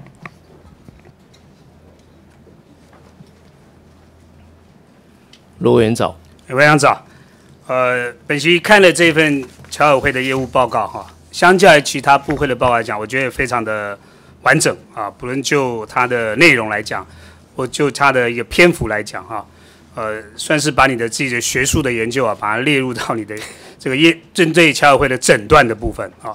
但是诊断我们知道问题，解决问题的方法我们可能又不太一样。是是在这边有几个东西想跟大家一起来讨论一下哈。是先谈华侨会馆的部分，你们已经做了决定，而且下年度的预算已经编了这个税入已经拿掉了，一千七百多万的是权利金嘛。是换句话说，你们已经做了决定，而且诊断出来结果，我们的财产这个财产就不要了，因为你认为它是包袱，不是一个资产，是不是？呃，跟委员报告哈，事实上华侨会馆它是我们国家的财产，对啦，只是从你这边换到是财产国有财产所而已嘛是是。可本来是你的啊，你先把它切出去了，因为在我所以就回不来喽，委员长。我知道，因为回不来喽再在我们强调一次我们侨委会来管理，基本上来讲不是很理想。那我们认为就是说，成功也不必在我，让国产署来管理可能会做得更好。好，哎委员长在做决定要裁撤之前，你自己有没有到华侨会馆去过？我去了，我这个利用是是去接待侨胞，还是真正去评估我自己到底适不适合存在？私底下放假开车去看的，好，就你看了一下你不会只有到华侨会馆，你会到附近的温泉区看一看，没错吧？没有没有去温泉区，我这就是问题啦我不洗温泉，不是不洗温泉，但是要看看附近的环境啊。是是那边大兴土木啊，很多新的饭店供不应求，很多豪华的温泉会馆供不应求。每到周末日，除了捕抓那个什么宝可梦之外，洗温泉的满满的，那个是台湾很重要的观光景点。是洗一个温泉要排队的，所以你们诊断的结果是经营不善，还是这个东西不要就算了？不是？那为什么那个地方会那么热闹？很多饭店订不到位置，哎，但是我们华侨会馆有结构性的、先天性的一些、一些、一些问题是没有办法解决的。比方说，比方说，这是一个国有的财产，我们侨委会也不可能把它改建，因为它的使用年限都还没到。可是还有一个另外，那是你认为是成本负担的部分啊。对还有一部分什么？你不用付租金啊，我们不用土地费用啊，是，所以你的成本是低的啊，相较于其他那个饭店、温泉会馆来讲啊，对不对？对，你也没有借钱啊。但是因为华侨会馆当初新建的时候，它的格局、它的设备、它各方面的需求都没有办法，就是说满足今天侨委会的需要了，所以侨委会使用率偏低。那偏低，每一年监察院就会给我们检讨报告，要我们检讨。那我们发现这个困局，我们基本上已经很多年了，不是现在开始，大概有七八年，监察院每年都要我们要检讨检讨，但是我这个困局基本上是没办法改变的。有没有试过？如果今年再招标一次，如果真的没有人来，表示真的人家企业界评估过不会赚钱。呃，跟委员报告，这个我们如果对外今年因为到年底就十年的这个委外就没有错，对。但是如果我们在委外招标，我们认为应该还是会有人来来来来抢这个生意要来做，但是还是没有办法解决，就是满足我们侨委会的侨务工作的需求这一部分是完全没办法 match。回答，我只想了解你们有没有做书面的报告，还是就会议开开就决定不要了？我们有书面报告，我们也事先有跟行政院政委那边好不好？可不可以给我们一份？好好好，就是说，包括所有的委员了哈，是是就是外交委员会了，我们要了解到底这个决定是基于什么理由是决定的。是因为要废掉很简单。作为外交委员会的人，我们真的不希望侨委会把财产不断不断割出去 了。是虽然没有错啦，这是国有财产局，是也是国家的。是可是某个角度来讲，你就少了一个可能，至少税入中少了一千七百多万了。是。啊，你只是管理不善而已，但是从至少从账面上来看，你是赚钱的哦。至少权利金是有的哦。还给国产署，可能他会运用的更好。希望如此，那他表示我们有管理的。能力嘛？啊，重点来了，宏观是资产还包袱，要不要把它废掉？如果照你的评估，这个也不要，那个也不要，那宏观也废掉好了，是这样子吗？宏观电视是这样子哈，就是说它这一个，因为我们也知道这个罗委员对电视也很了解哈，就是说这一个要弄一个电视能够真的相当这个有影响力的话，以预算、与人才、与设备，基本上来讲，所以委员长侨委会都是，侨委会也没有管理饭店的经验，侨委会也没有管理电视的经验，那是不是这块也不要了？现在宏观电视目前我们就已经准备政府相关的部会，文化部，那么原民呃这个这个客客客委会、原民会，我们大概会与行政院政委会来召集会议讨论，怎么样把现有的几个政府的频道要做有效那那的整合。那个委员长，我再请问一下，对你来讲，侨委会哦，宏观电视资产还是包袱？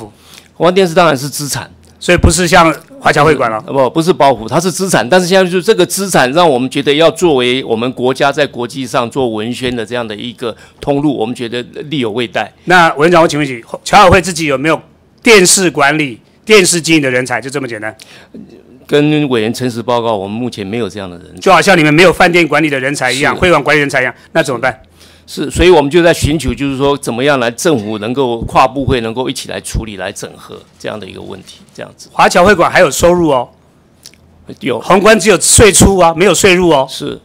然后华侨会馆是有税入没有税出哦。是。那你去去掉会税出税入的，然后继续留着只有税出的，你觉得这个算盘精不精呢？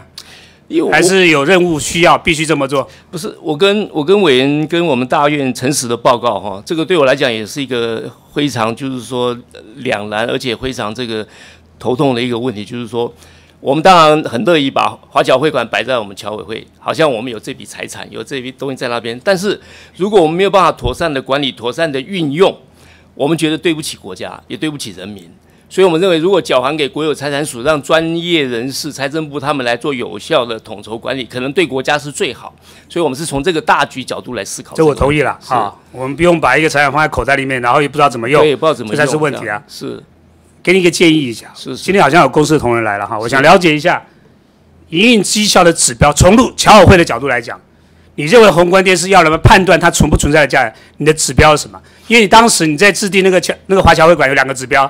一个叫什么营运的绩效嘛，是，就是那个到底每年营总营收多少嘛，对。另外一个就是侨委会使用的率，使用率嘛，这是你两个指标，对不对？是。那可不可以告诉我，告诉本席，侨委会对于宏观电视的营运的指标是什么？绩效指标是什么？其实我们对宏观电视绩效指标很简单，就是收视率。那收视率怎么调查？连台湾的国内收视率都不能调查了，国际怎么调查收视率？其实我们根据这一个，我们自己在海外的这一个对侨胞们做一些私底下的问卷调查，有吗？有做吗？我们好像在有做问卷调查吗？去年做过，我们社长在这边，去年有做过一次。那那个结果出来，基本上来讲，我记得我刚上任的时候，这个问题就大院立法委员就垂询，就是认为说我们宏观电视的收视率不高。那收视大概怎么样？你不是有调查吗？收视情况大概如何？哎，我们是不是有一千人有一百人看，还是一万人只有一个人看？啊，我们请我们的社长来，跟社长报告一下。跟委员报告，卫星的部分哦，没有办法做收视调查。所以你就说不能做收视调查。对，所以我们呢，在我们已经连续两年哦，一百零三、一百零四，连续在海外做问卷，回收的是四千多份，大概百分之七十都觉得内容还不错，这样子。所以是问值的部分嘛？是这个是卫星的部分哈，我们多多方面去去查询不同的内容。那带多少人看你们也不知道了。对，然后在在那个媒体的部分的话哈，我们基本上大概每个月点阅的次数，我们自己有设网站，大概是一百五十万次。什么宏观有那么一百五十万次？对，一百五十万。有这么多吗？每一个月。对，一百。你是哪？你是看哪边的那个？是我们自己的网站，我们去去调查的。那比台湾的可以处理的。比台湾的偶像剧还高还高哎。不是，那个是点阅次数。一样啊，点阅次数啊，点阅某个角度来等于是观赏啊。是。有这么高？是。可以把你们的收视调查跟相关的数字让我们参考一下。是。啊，不要虚虚造假，然后虚伪说哇，好像很多人看，也不要自欺欺人了。是。把相，尤其是哪些节目，可能认为比较适合外海外的观众看。对不对？我真的认为啊，我不是要帮那个某家宗教电视台慈济做比较，我相信慈济收视比你们宏观要高，你相不相信？对呀，是，他们大概也没有做调收视调查，但是相信看的人是很多，尤其在海外的部分。三个方向了，大家参考一下哈。是，一个就是伪制的方式，会长你很清楚嘛？是。现在根据公共电视法的规定等等，你们就是委托公司嘛？是。这委制的方式，你们自己有没有做了一个检讨？好，第二个叫做节目的内容，不要只是问说啊，一般来讲啊都还不错啦，人家也说不错啦，你问我也说不会说，不会讲说很糟啦。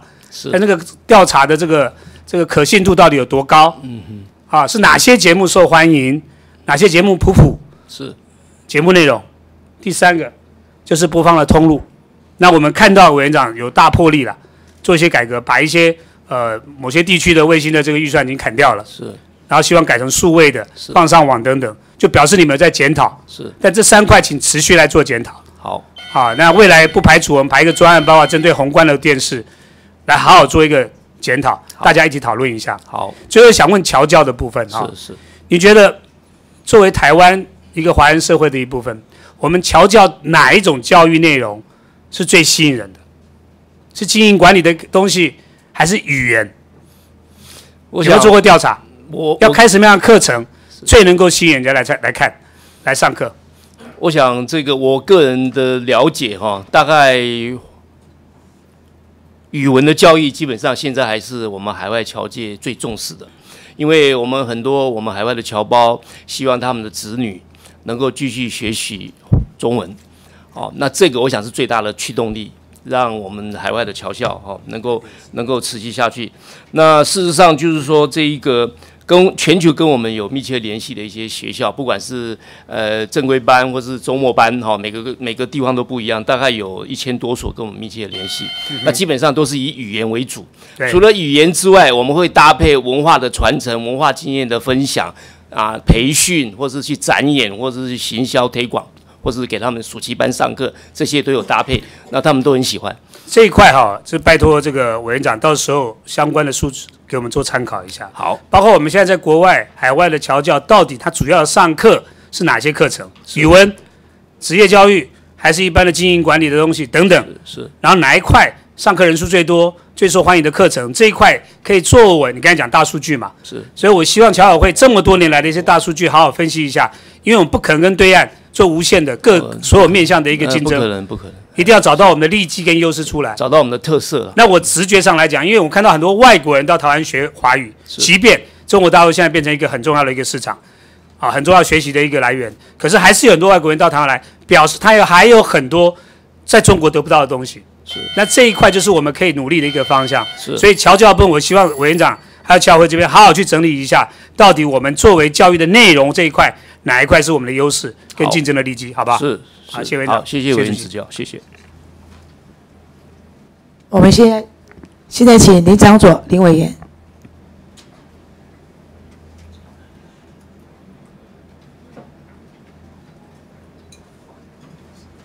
我们请委员长。请委员长。林委员长。好，呃，委员长，我想，因为社会大众其实一直对侨委会还是有很多的这个。批评啦，那也有一些不同的看法。那对侨委会的定位上面，其实也有一些不同的看法。所以，我想我从几个例子先来了解一下，到底我们的定义上面是怎么样子来，呃，做这个管理的。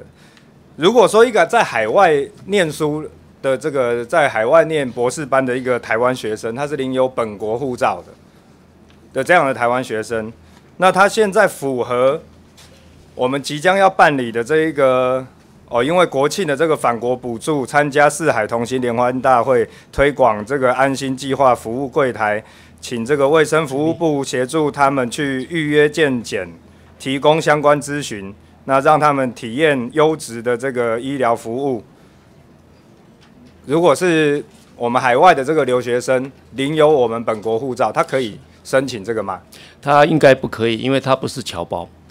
他是留学生，他是学生，所以我想这个是第一个社会大众一定会有疑虑的啦。是，可以得到这样子的补助，大部分领有我们自己的护照的旅外的这一些学生，是，他反而没有这样子回来的补助，他没有这样子回来参加这些活动的这一些优惠，那反而是不是本国籍的人会有？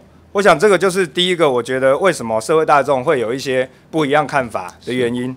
第二个就是在九月二十号，我有看到一个教育部发布的这个新闻。那台湾师范大学主导的全球华语文教育专案办公室揭牌，要推动台湾品牌，力抗中国孔子书院。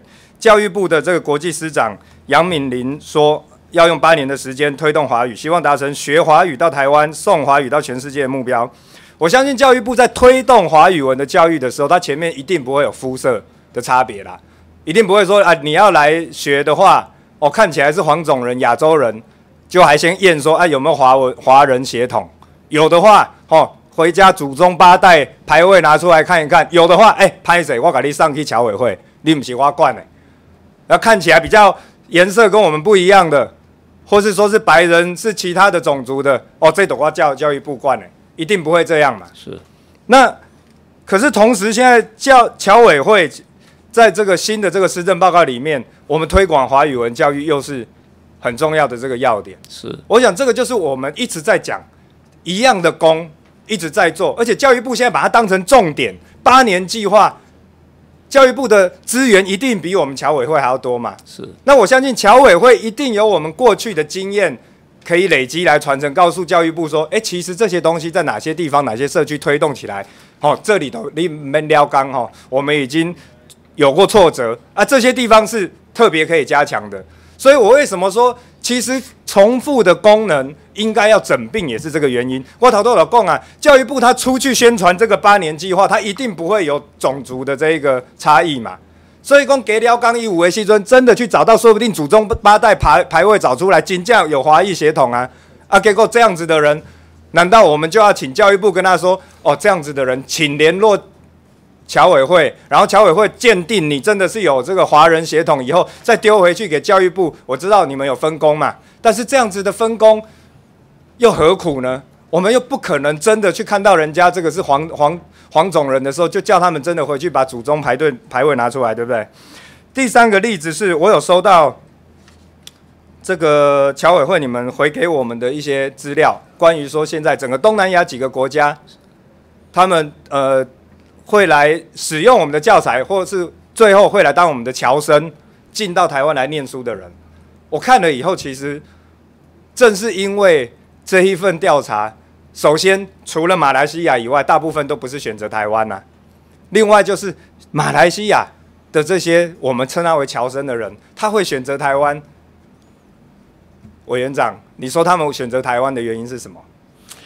我想这个跟委员报告哈，这个我们马来西亚有六十一所独立中学哈，那么他们都是全日制的中文上课哈，那么这些都是我们的华侨子弟哈。那他们对于，因为在马来西亚现在已经有六万个留台校友，所以他们在马来西亚已经围成一股非常好的一个我们台湾在那边力量呈现的一个社群哈。那他们都会。父母亲都会告诉他们的子女，希望他们到台湾来读书啊。那因为他们对台湾已经有一点感情，也对台湾很了解，这是第一个因素啊。那第二个因素就是说，基本上马来西亚他们的学生，他们还是会跟两岸去比较，他们觉得来台湾读书，在自由民主的教育体制下来读书，应该是比较好的。所以在这个情况之下，基本上来讲，马来西亚的学生他们还是喜欢来台湾求学这样子。所以我想哈。因为你刚刚讲的这些理由，事实上在其他的这一些国家，包括像新加坡等等，应该都怎么样比较也会觉得台湾比较民主自由嘛？怎么会要去中国呢？但是为什么只有马来西亚是有这么高，其他地方其实相对来讲比例低了？我觉得原因，如你们给我的报告里面写的，就是因为马来西亚长期它国家政策，它有一个排华的国家政策，所以在那边我们的吸引力，如果你今天想要学华语。我们有某种程度的吸引力，要增要增加这个华文跟华语文化上面、语言上面的这个学习的话，是。但是这跟我们是不是称呼它为侨，其实没有直接的关系。这就是我要提的，就是我们也许在教育上面我们有任何的能力，但其他地方我们也都称呼它为侨啊。如果我们侨委会称呼这些国家的华裔的人都，或是说有华人协同的人都称呼他为侨胞，这样子就可以让他们有认同感的话。显然，在东南亚国家里面，只有一个地方有，其他地方它未必有。那这一个地方有的原因，是因为它有排华的传统的这个政策上的传统，不让他们学习。所以，我我要提醒的就是，我刚刚前面举几个例子下来哈，然后最后这边我要再强调，跟委员长分享了。我想这一块是委员长应该要重新思考一下，就是侨委会的定位是，就是。我有收到这一份报告，里面我有提到说，侨委会跟其他的部会重叠部分，应是不是？我觉得都很很多重，呃，很多工作都很重要。那但是应该可以跟其他部会整并以后，效果会比较好，才不会像刚刚我讲跟教育部的重叠的部分。那我得到的回应是说，这个举例，就侨委会这边回应的举例是说，就像客委会、原民会，它针对不同的族群，所以它有不同的辅导业务。所以不会认为说把客委会或原民会都并入内政部、教育部或经济部就好了。所以侨侨委会也是一样，在海外的时候，它应该有它独特的功能。那我想，在在现在新政府，尤其现在呃这个总统刚对原住民族道歉，然后也开始说要实践转型正义，那包括语言平等法也在推动的时候，我想这一块必须要让所有的政府官员跟公务部门都了解。是，其实设置。客委会、原民会，它这个是世界上对于族群跟文化的这一个保留跟保障所有的。例如说，联合国的母语日跟母语权利，例如说联合国原住民族权利宣言，例如说两公约里面就明定要保障少数种族的文化跟语言权利。简单讲就是讲客话、吼火罗话，还是原住民族的文化，过去长期以来因为一些不当的政策受到打压，然后所以。必须要有不一样的部会来去富裕他们，来去保障他们，来去还原他们。所以，包括加拿大、纽西兰、澳洲，其实很多国家，它针对它国内曾经经过不公平的文化对待的这些族族群，有特别的部会来保障他们。这个是有一个完整的权力的体系来决定要有这样的部会，举世皆然。但是我揣摩另外一个国家，我讲像台湾安呢，在外交上面也没有任何权力的体系的这一个。引领跟逻辑的引领，我们有一个特别针对特殊协统，而且那个协统是很粗糙的，那个协统是很是很不精准的这个业务范围。这也是为什么我一直认为说，我们在这个业务范围应该要，我在这边上一个前我问过前政府的这个委员长的，我要在这边再问一次委员长。是。那。四千万的华侨里面包括蒙古人、西藏人、维吾尔族人、傣人、满人吗？呃，跟这个林伟报告哈，四千万的华人基本上来讲是根据每个国家它的人口的统计，我们统计来说，在某个国家有多少华人，某个国家有多少？我知道，我我甘南贡，我哪一个蒙古人的一帖祖宗牌位出来，供他是蒙古人。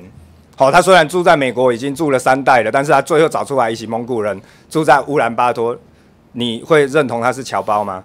我不太会认同，哎，对啊，所以最后你就会变是汉人，对，变成是汉人。但是我们从台湾原生住在这里的人，不是只有汉人，跟我们有关系的人不是只有汉人，甚至于金马就在狼公 K 狼火罗狼，其实都是很多是跟平埔族混血。所以我上次在问前前任的这个主委的呃委员长的时候，我有说。我们如果以台湾的人民作为主体性的话，那我们的业务范围如果一定要用协同论，那侨委会变成连这个四亿的南岛南岛民族都变成我们的这个业务范围了。那不会是？更何况我们的南向政策，这些四亿的南岛语系的民族是在这个东南亚国家里面的这个主要族群，所以我我的意思就是说，不会是这样。如果南岛都要讲的吼，蒙古人、藏人、傣人、越南人，这些是中国境内的这些民族都不是啊。然后跟我们的原住民族有血统关系的这些南岛语系也都不是。那我们侨委会完全就是一个汉人，我们就是说他就是汉人委员会嘛。那这不就是全球汉人除了中国以外的汉人委员会？而且什么叫汉人？北方汉人、南方汉人又是不一样的血统。那这个就会造成我改立讲，现在举世我是不认为有任何另外一个现代国家的现代部会有用这么不精准又粗暴的协同论作为它的业务范围。那我也都理解，长期以来我们的外交工作，我们其实仰赖很多不一样的侨社。那这些侨社不分蓝绿，都帮助台湾的认同很多，但是它应该就是放在外交的架构之下，作为我们外交。去哪些人对我们友好？这些朋友，他有的可能是有华裔血统，说不定也有蒙古人是对我们友好，有可能有藏人对我们友好，有可能是南岛语系的人跟我们友好的，认同台湾，因为他讲的话可能跟那个跟达悟族一样，所以他认同台湾，在这样子的一个框架下去推展我们的外交嘛，而不是我们有一个汉人委员会，独立于外交部以外，做全世界。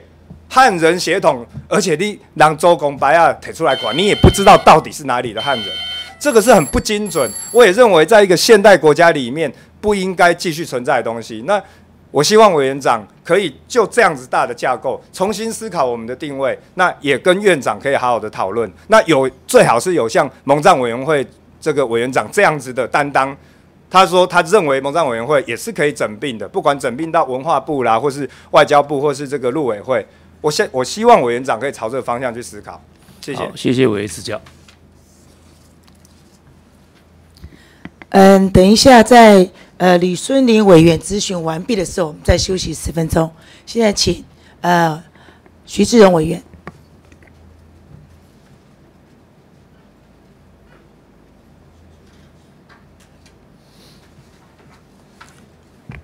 谢谢主席，主主席，我想请委员长。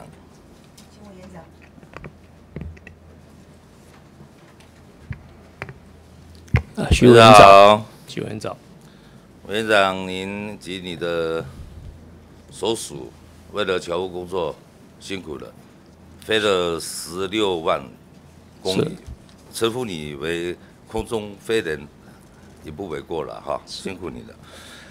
啊，大家都知道，我们十月份都是我们贵会的活动最多的月份了哈。首先就是我们双十国庆嘛哈。呃，我们今年回国的参加的侨胞大概有多少人？呃，跟徐委员报告，我们现在估计到今天为止，哈，大概可以回国参加庆典的侨胞大概有四千人左右。历年也差不多吧？呃，每一年的情况都不太一样，哈，都不太一样。没有差很多就对了。对，不会差太多，不会差太多。委员长，我有注意到贵会有规划，我刚才是听你讲说九十六条，对，参旅游的路线。不过，不过您的报告里面是九十四，九十四条，九十四条，九十四条了，九十六、九十四都不是重点了。是，也你们也非常贴心的，也在网站上都设有这个专业哈，这个是我我觉得是很好了，尤其现在国内的观光。旅游业也也不不怎么样好嘛，是是也借由我们的侨胞，对啊，回来可能也可以带动一下我们国内的观光旅游业哈，多多少少对他们也有所注意了哈。是是。啊，我志龙在这边有三个小的建议来给请诸位参考了哈。谢谢。第一就是说，我们贵会补助侨胞回国参加。庆典及旅游者，我们的上限是两千四百块。是，我建议是说可以提高这个上限的，啊，就给一些呃回国参加庆典的意愿啦，也是国内旅游的意愿的诱因比较提高一点了哈。是，这第一点建议。第二就是说，呃，我们几乎我们的侨胞都是比较老一代嘛哈，比较。我的意思就是说，我们看能不能有什么补助的机制，或者是其他的办法，就是可以老乔也带着他的下一代，甚至甚至于孙子带、下两代都可以，可以带回来，来看看我们台湾，看看我们中华民国，啊，这一点就是说加强对我们年轻的侨胞啊回国的这个意愿了哈，想想看有什么。啊，补助的机制还有其他的办法。第三就是说，刚才我们讲的九十四条的这个旅游的路线了哈，我比较自私一点了，因为我是苗栗客家出身的了哈。是是。其中规划到苗栗的景点呢，我是觉得比例上啊哈，比较偏低一点了哈。呃，详细看一下，九十四条路线里面只有其中的九条，哦，有带到苗栗去而已的哈。我个人的认知，我们客家人呢，华侨里面可能也很多客家人，哦，是，你你跑遍的全部的这个角色，应该也很多，不见得他在那边可以讲客家话了，但是他可能是真正的是客家人了，啊，不，平常可能不见得讲客家话。所以说，我比较刚才讲的比较自私一点的，就是说，我们苗栗有这个客家的盐楼，我们苗栗有这个客家大宴，我们苗栗有全台湾可能只有六堆跟我们苗栗有的客属园区，啊，所有那里面也很多那个。资讯，我们客家是怎么来的啊？甚至于怎么样来来台湾怎么样的种种那个资讯都很值得参考。然后我也借这个机会宣传一下苗栗的，因为有关这个九十四条路线，我们苗栗有两个乡镇，一个叫三义，一个叫南庄，它是被这个国际慢城组织在台湾只有四个乡镇有。我们苗栗就有两个乡镇，就是南庄跟三湾，被这个曼城的这个认定。当然，三义你也知道有很多景点啊，一些断桥啊、木雕啊，还有这个旧山线的这个铁路啊，南庄这边这个桂花巷啊，这个民宿啊，还有这些美食啊，然后客家人很好客啊，哦，所以说希望以后这个路线上可以多规划一点，在苗栗的行程，好不好？好，这一点再拜托我们，呃，我我们尽量来请旅行社来规划。谢谢。好，虽然九十四条，现在我们报名月底截止吧，月底截止，报名的人多不多？我们侨胞回来一直报名到这个到十月五号都还有嘛，哈，就是有的侨胞他没有先报名，他回到台湾再报名的，一直到十月五号、六号，这人数还会增加。嗯，好。然后接着就是说，刚刚讲的国庆日以后，第二个我们委员会的比较大的日子就是十月二十一号的华侨节。是，好，华侨节，嗯，应该我也不应该在委员长的前面，因为因因为因为你比较比较专家了，那个华侨节的就是在民国四十一年的时候。在那边开了十月二十一，开了一个礼拜的这个呃有关华侨的这个会议嘛，啊，政府为了就是感念我们侨胞们对国家的呃贡献啊怎么样，所以把十月二十一号定为华侨节嘛，哈。那在我们的报告里面有关到刚刚也有几个委员提到的，就是有关这个。侨演啊，就是华侨会馆的这个事情，是我比较不解的，就是说哈，我们委外经营不是有一笔钱收入吗？是，那有收入，为什么我们不要？虽然你讲的理由我知道哈，什么功能是，那是委外者经营者的事情呢，在我们委员会，我们。我们这边的立场应该就是我我对我来讲我是有收入的啊，为什么我们要这样放弃我们这笔收入？甚至于我觉得，你如果说把这个废掉以后，你还给国产署，它不见得以后还是用华侨会馆啦，还是什么这样的名称，可能是另外怎样啊？对侨胞来讲，我相信多数的侨胞他应该不会认同说。我们把华侨会馆把它废掉，至少对他们来讲，对华侨会馆虽然他可能没有去住过，但是有一个华侨会馆在那边，对他来讲，好像他回到台湾，好像也是他的家的那个那个感觉。所以我不就不解的就是说，怎么我们侨委会来讲，我们是有一千六七百万收入的，我们现在自费武功要。还给国产署，啊，照刚刚您讲的，我们监察院、我们审计部，呃，对我们的那个，呃，我不敢说是纠正的哈，就是他讲的也只只不过是说华侨会馆之营运，远于妥善评估梗系委外之必要性与妥适性等等，他也好像也没有特别强调说啊，你你不行拥有了。你你要还给我，也没有特别要这样子，为什么？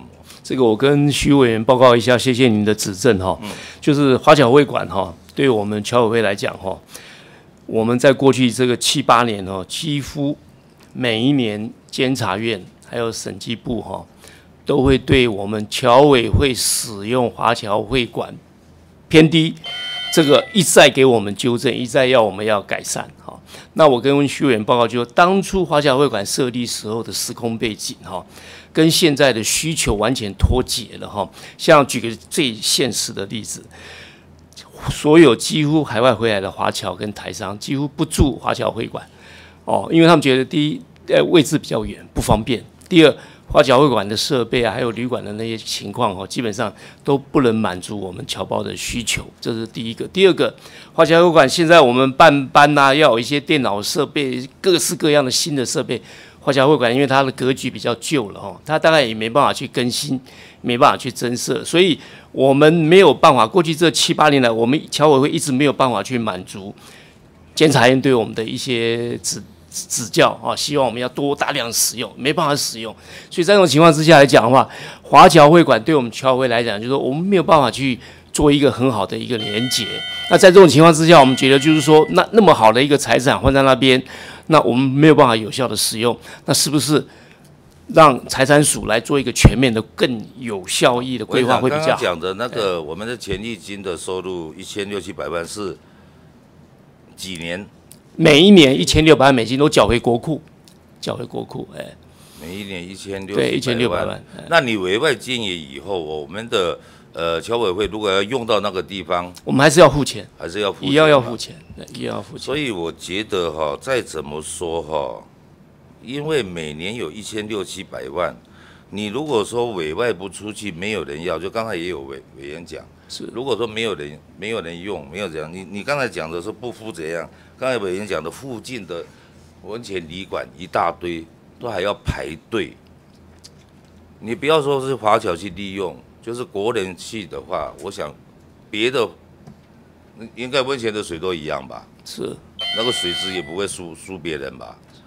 所以这一点哈，我是还是要拜托这个委员长啊，是不是还有还有可能了？还有可能保得住的？啊，我我我是百思不解，是说每年我们侨委会来讲可以收入一千六七百万啊，当然我不知不不知道说国财署以后收回去，它怎么样的利用，是不是可以创造出？更好的效益，我是希望这样子。那个是不知道了哈，但是我也强调一点，就是说我们有收入，然后一个华侨对华侨会馆，毕竟一定是有感情的啦啊，最好华侨会馆真的要会掉吧，最好也不要给华侨知道了，因为他知道以后，他一个有有点感情跟他们有点关系的这个馆会馆都都没有了哈，这我觉得是比较比较不好了哈。呃，时间不多，我是想请问委员长，我们有没有规划这个？因为我们这个全球的侨务会议啊，从四十一年开始到现在举办了四次，是，我们有没有准备办第五届的？跟徐委员报告哈，我们全球侨务会议每十年办一次，啊，十年办一次，那。我们大概明年就到了十年，上一次办已经是九年前了，所以明年我们会办全球侨务会议，所以相关的预算我们都有来呈现，请各位委员给我们支持，哎，给我们支持。大概大概看了，就七十九年那个不讲了，民国九十年也办了一次嘛，第三届是，民国九十七年也办了一次，第四届是，大概在这个十年办一次，好像的，好像就是政党轮替的时候，嗯，那那个就。就差不多，今年是对大大概就接接近十年了，嗯，所以就明年十年。办了啊，是是，确定会办第五届的全球委员会是是会会办，是谢谢，好，谢谢徐伟。华侨会馆其实很漂亮啊，院长 是是，这个华侨看的有感情的哦，是是是是，看能不能保得住了，是是，谢谢。徐伟，谢谢。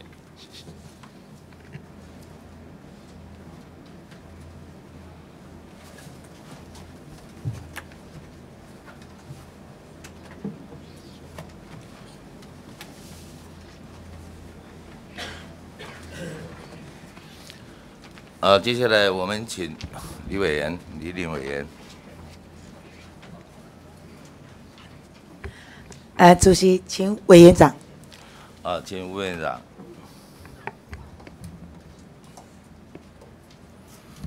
吕兆伟早。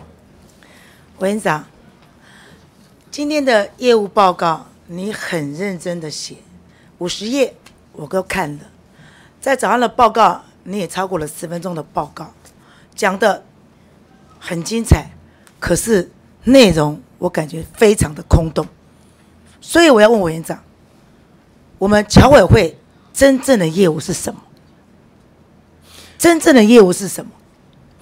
我想跟刘委员报告哈，侨务委员设立最主要的目的就是照顾服务我们全球的侨胞。那在这样的一个概念之下，我们希望透过这样的作为，能够凝聚我们的侨心，来支持我们的政府。好，这是我们一个大方向啊。那下面的业务，下面的业务，业务你都讲了有，这个不是概念。我们侨委会最重要的服务侨胞、台商，是。辅导他们的未来的发展。是。所以最重要还要宣扬的是我们中华民国、我们台湾的文化，对不对？对对，所以刚刚大家一直提的宏观电视，结果您说的我们做的内容都很好哎，但是看的人少，东西好，为什么没有人去品尝，没有人去观赏？这个你要自我检讨反省的，对不对？所以在这宣扬文化是最首要的你的业务，但是我们看到你没有不够积极性，所以每个委员都跟你要资料，要你的书面报告，你也说你做了民调，民调结果是你的依据，但是不管是网络或者是你们的视讯，这个都是属于被动式的，积极性的就是要宣传我们的文化。文化怎么宣传？你看电视，有闽南语的，有客家的，就算是宣扬。那我们的侨胞，我们在国外，你说有侨校，这个侨校你说是语言专攻语言，那我们的文化呢？如何去认同？我们现在在跟大陆在争我们所有侨民的认同，所以你做的要更积极、更主动，是。才能够获得到认同。是，所以我们看到你的业务上讲了新南向，我觉得这个新南向这个业务啊，完全是在不取我们这个经济政策新政府的经济政策，这完全是拍马屁的政策。我举例给你听，你要培育轻商驱动新南向的动能。每一处新南向的商机专案，启动新南向的台商企业的辅导列车，这些都是在配合经济部的国贸局，你是侨委会，所以这个新南向前面的政府啊，已经做了三波了，你现在里面看到的南向跟西南向有何差别？都已经在做的。所以你这个真的，你这样子的，在捧新政府的拍马屁啊，做出来的，你这个预算我们要怎么协助支持？包括的，你刚刚大家都听到了，我们华侨会馆啊经营不善，光收租金你也不要，因为侨胞回来也不去住，老旧嘛，与时俱进。现在大家看看那些饭店，四星、五星的饭店是什么的规格？那附近又有我们在地特别的温泉，这个就让你这个宣扬文化，你都不愿意去做，你懒得管理，干脆缴回去，这样子你省得麻烦。那结果对新南向，你主要业务变成在新南向，哎，刚刚我讲了几点，青年的、企业的这些，那都是经济部的工作啊。那你侨委会的文化发展呢？宏观电视台。做的这么不好，在审计部都对你的评定评定都认为非常的低落，结果刚刚你们说我们的内容做的非常的好，民调如何如何，是这样子吗？所以本席啊，真的希望我们的委员长注重本业呀、你的本业是什么？好好的做，去发挥。跟这个吕委员报告，谢谢吕委员的这个叮咛跟指教哈。我想这一个我们新南向政策不是只有商业这一块哈，我们传统上来讲，我们在东南亚地区最多的就是我们的华人跟侨生哦。另外还有我们台商在那边也都是最多，所以我们整个新南向政策大概明年有两亿左右的这样的一个预算哦，大概这三块我们都有兼顾，包括侨教啦、侨生啊、侨商我们都有兼顾，所以不是只有去做台商这一块，不是只有这一块。当然啦哎，所以侨胞也是要兼顾。我是是提醒你，是因为我看到你的业务上面对对这个新南向啊的计划写的很多，但是我看到跟以前的南向是差不多的，所以你要好好检讨，好不好？注重你的本业。是接下来我们要最关心的就是下个月了，国庆，大家都关心为什么侨胞回来的人数越来越少？从一百年你看到两万人，亚洲、美洲各半，逐年减少，到现在的去年一百零四年五千多人，今年你也很保守了，说大概四千多人了，为什么？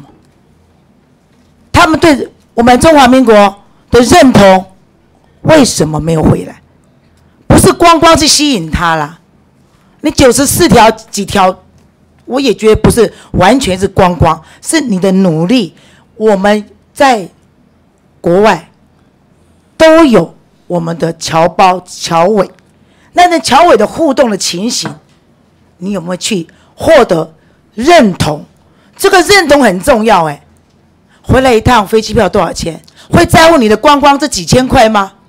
认同很重要，爱国情操很重要，所以侨委会这要你去发挥的啊！你看看这个些数据，你看看这个数据，你做了这么久了，在这外交上，你自己感觉到其他的地方，我们二十二个邦交国，这些国家应该都是认同我们中华民国的。你看有没有朝我们的邦交国去努力？我们的侨胞、我们的侨委协助我们的情况之下，你要怎么去发挥？也是在协助巩固我们的邦交国啊。是，我们邦交国稳定了，我们侨胞在国外他们的地位、他们的照顾才会跟着为稳定，所以是非常重要的，是好不好？是，谢谢委员的指正。接下来我也想请教个信保基金呐、我们海外信保基金呐、信保基金林董事长，你也一起请。我们关心是信保基金，它的数额是十五亿的基金嘛，现在放款出去的是银行也做担保，我们信保基金也做担保，但是他们没有提供任何的保证担担保品，所以目前我们协助出去的将近十亿，对不对？报告委员，我们目前的呃基金的净值是十一亿，对。那如果是提供保证的余额，目前是什么一亿呃七百五十八万的美金，就是担保出去的部分，对，对在这个额度上大概就将近十亿左右，担保出去了。那现在我在最重要问你，呆账已经完全收不回来的，完全收不回来，有多少？目前我们的代偿率差不多是一点八 percent，也就是说我们呃保证一百块钱的话，差不多一点八五块钱是收不回来的。你确定这个数字？哎，是。你用什么情况，用怎么评估，是绝对收不回来的。报告委员，这个这收不回是来钱已经几多久了？时间已经多久了？呃，我们成立二十八年了哈，那我们过去收不回来的话是差不多五五百多万美金，五百多万美金，对，所以差不多我们放出去一百一百块的话是一点八五块钱收不回来。你讲的数字非常保守，本息的资料，你担保出去的将近十亿左右，但是你收不回来是五亿的，将近有三分之一收不回来。所以这个数据，你不要再跟我这文字游戏，再跟我糊弄糊弄的。这个跟跟这个委员报告，我想我们我们绝对不会糊弄委员哈。我想后续我们把这个详细的数据，委员关切的哈，呆账多少，我们跟委员报告。好好我下次会开这个专案报告，是是是，因为完全没有担保品，你协助侨胞在国外发展企业，这个是很好的，利益良善。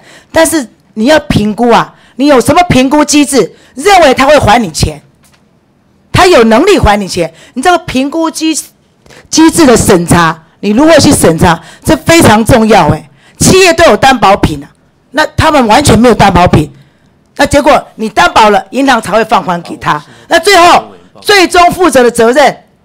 是银行跟我们侨委会是不是？你们各付一半吗？不是，呃，报告委员，我们保证的成数哈，呃，平均哈是六成，六点一成啦。所以银行平均是要负担三点九成，是吗？不是我们全部就差不多六四嘛。是是。对呀，对，不是全部六成也很高额了。所以我们的审查机制如果没有去制定好来，随便放出去，这些侨胞到时候他再换一个名字。再来跟你借钱，你又借他了。是，报告委员，这个银行的话哈，办理授信一定要看他的还款能力，不是全部只是看担保品而已，所以要注重他还款能力。所以银呃这个侨商或是台商，他要在海外一定要有经营事业。所以他要有一个营业的计划书，或者他的那个厂房的设备、机器设备。所以他提供我们提供的是资本支出跟营运周转金。所以银行都要透过五批的原则来做一个征收性的报告，也就是主要就是说他要有一个还款的能力。是，所以现在责任又丢给银行，银行会做所有征信。那征信好了之后，我们侨委会再来负责。所以我要提醒的就是，在这个海外信托基金这一块啊。不要这样，整个钱都不见了。我们要有这个审查的机制，而且钱还不回来，我们要就责啊。当初怎么审查的？不要配合银行，对不对？有啊，都有就责。这个球场一定要去追踪。像这个没有收回来钱，你要跟我做一个报告。是。他多久了？你还没收回来？是。那现在金额是多少？你不要跟我讲几趴几趴，确实的金额。余额剩下多少？所以这整个机制，我希望要做好检讨，好不好？是。好，不要到时候你要换一个名字又来借钱了。就像公司工厂倒闭了，他再换一个名字出来，又来出来借款了。所以钱交到你们手上，好好管理，好不好？是。董事长，是。这个管理要要非常的小心。如果制度有问题，要改革。是。而且钱收不回来，这个一定要就责的。是，好不好？不能丢给说银行帮你们审查这个信贷的问题。好，谢谢委员知道。那我们再请海外信保基金有关李委员的一些什么呆账的数字那些，再请你提供，想尽快的提供资料给李委员，谢谢。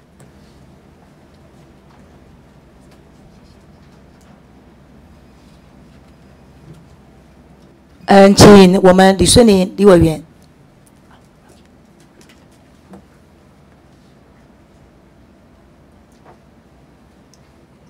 呃，谢谢主席。呃，有请我们委员长。请委员长。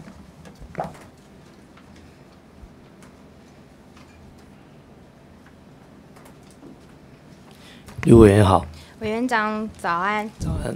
呃，我想委员长从上任以来呢，我可以呃很深刻的体会到呃我们。委员长非常希望能够在侨委会这部分能够做努力的改善。那在这部分呢，我想给委员长一个肯定。谢谢委。但是呃，我想侨委会呢，其实还有很多业务需要在呃做加强。那我希望以下来跟那个委员长来做一个就教。好，那首先呢，呃，我们都知道说这次 ICAO 呢，我们台湾并没有受到邀请，那这是一件非常遗憾的事情。但是呢。呃，有一件非常欣慰的事情，就是我们在呃加拿大的侨民呢，他们自动自发的到了 ICAO 的会场外面。为我们台湾所受到这样子不公平的待遇，向国际还有加拿大人民发声。那在这边我也非常感谢这些侨侨民为我们呃的所作所为。但是我们可以从呃这件事情，就是呃从 ICAO 没有受邀这件事情呢，可以显示出中国对于台湾打压是有加大加深的现象。那在你的呃这个业务报告当中呢，也有提到说，中国在谋取我我侨团的动作是非常的强势。那我想在这部分之前也有跟呃侨呃委员长做一个就教。那所以我在这次呢，也想要再请教委员长，在这个面对这样的状况下，我们未来和现在我们要如何再继续做引领？是，谢谢委员提出这个非常宝贵的、重要的一个问题哈。那基本上来讲，我刚刚也是提到，就是说中国大陆因为随着它整个经济的发展、国家环境的演变，他们移居到海外的侨民越来越多，数量越来越庞大。所以在这种情况之下来讲的话，他们就对于我们传统上的一些传统侨社就加入做会员，那么渗透的非常的厉害。对，所以就从量变就导致质变。哦，那像旧金山中华总会馆就是这样的一个情况。哈，那当当他们这个量变导致质变的时候，我们就注意到有一个很大的一个挑战跟压力就出现了。哦，就是说我们传统侨社有一部分啊立场比较不坚定的啊，然后又又。因为有大陆侨民特别多了，他们就慢慢的把它更改了游戏规则啦，各方面就变成他们的一个侨团，的确有这样的一个情况出现了哈。但是我们也注意到还有很多这个有我的侨团，包括房氏、李氏、于氏、志孝、笃亲这一些团体，基本上来讲，他们还是非常坚定的支持中华民国政府啊，还是有这样的情况。那我们侨委会也是非常密切的跟这些传统侨胞来保持联系。那同时，我们也注意到了这样的一个挑战，我们也都在这个呃这个这个做一些妥善的规划跟应应。好，我希望委员长在这部分呢，跟侨胞他们呃维持关系之间，还是要继续的呃维持下去。是。那在这样子的情况下，你还是要继续的观察，到底呃未来的变化是如何？是，我们会持续观察。好，那在。对于这次的 IKO 事件呢，我们侨委会有没有透过侨务系统来向我们全世界的呃侨胞来说明以及宣示，我们台湾在在这次受到的不合理和不公平的打压是有违反了普世价值和非常安全的问题。那同时呢，这个问题也显示出中国的霸权心态。那我们侨委会在这部分是不是有诉诸这样子舆论的作为，让我们的侨胞能够理解这样的状况，来影响他们呃侨居国对于我们的我们台湾的看法？是跟委员报告哈，那这一部分我想我们。全球有我的侨胞哈，他们都了解到中国对在外交上对我们的打压，这个大家都很清楚了哈。那这一次这一个我们的民航局的副局长到了蒙特利尔去开会哈，我们当地蒙特罗的侨胞大家都有组织起来哈，动员在这一个会场外面哈，发宣传单呐，然后拿举牌子抗议哈，我们的侨胞都自动自发的，大家都出来来支表示支持政府这样子。对，我想委员长应该是非常的了解，我们侨台商呢，在他们的侨居国，因为长长久经营了他们的事业，那其实对于当地国的政府还有主流社会是具有重要的影响力。那面对我们台湾呃这样子外交的困境上面，我认为说侨胞是我们。重要的一个力量，所以我希望呃委员长在这部分也要多多的琢磨，那让我们台湾的自由民主的价值能够继续的向外宣扬，是好吗？会，我们会努力。好，谢谢委员长。那再来就是我想要就教一些有关于新南向政策的部分。是。那根据呢我们侨委会的业务报告当中，我们目前有十七处华侨文教服务中心，还有十九处的据点，那总共有五十三名的驻外人员。那其中呢，在东南亚地区有泰国、菲律宾两处的文教中心，还有以还有马来西亚、印尼、越南三处据点。那我们未来要减少美国、加拿大还有法国的人力，减减少了四名，然后调整到越南、印尼还有马来西亚。那其实呢，我在这个部分是非常赞同我们侨委会为了新南向政策来加强对于东南亚地区的一个驻外人员。但是呃，我有一些看法，想要给委员委员长做一个参考。第一个呢，就是美国、加拿大还有法国人力的减少，是希望这样减少的人力资源的部分是经过审慎的评估，那也不要就是因为这样减少的部分而导致了损损害了呃我们对于地方侨民的一个服务。是。那还有第二个就是说，如果只有这四个人的调动呢，是不是有助于推动我们未来呃新南向政政策？所以在这部分，我想请侨委会再做一个评估，是不是有必要再继续的来加加增加人力，好吗？好，我跟委员报告哈，我们初步的评估和这个想法就是说，因为这一个柬埔寨的台商很多，但是我们那边外交部没有设管。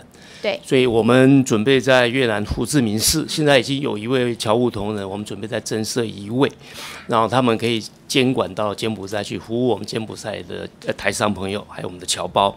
嗯那另外河内越南的河内，我们那边有很多台商，但是也没有我们呃侨务秘书。对所以我们认为应该也要派人去服务我们河内那边很多台商。另外监管辽国，辽国现在也有我们的台商也在那边，大概也有一百多人哈。那我们这是呃呃越南的部分，另外印尼的泗水，现在我们有设管，外交部有设管，那那边有很多台商，有很多侨商，那我们准备在那边派一位侨务秘书来服务我们那边的一个侨商、台商，同时也要推动侨生招生的工作，啊，吸引我们印尼的侨胞子弟回来台湾升学读书。那另外第四位，我们就准备在马来西亚要增设一位，因为马来西亚也很大，它的东马哈几乎离它西马很远哦。那东马那边有很多侨校，所以我们觉得这个马来西亚我们侨务人力比较不够，所以我们准备再加派一位来推动侨生招生的工作，还有侨商的一些服务。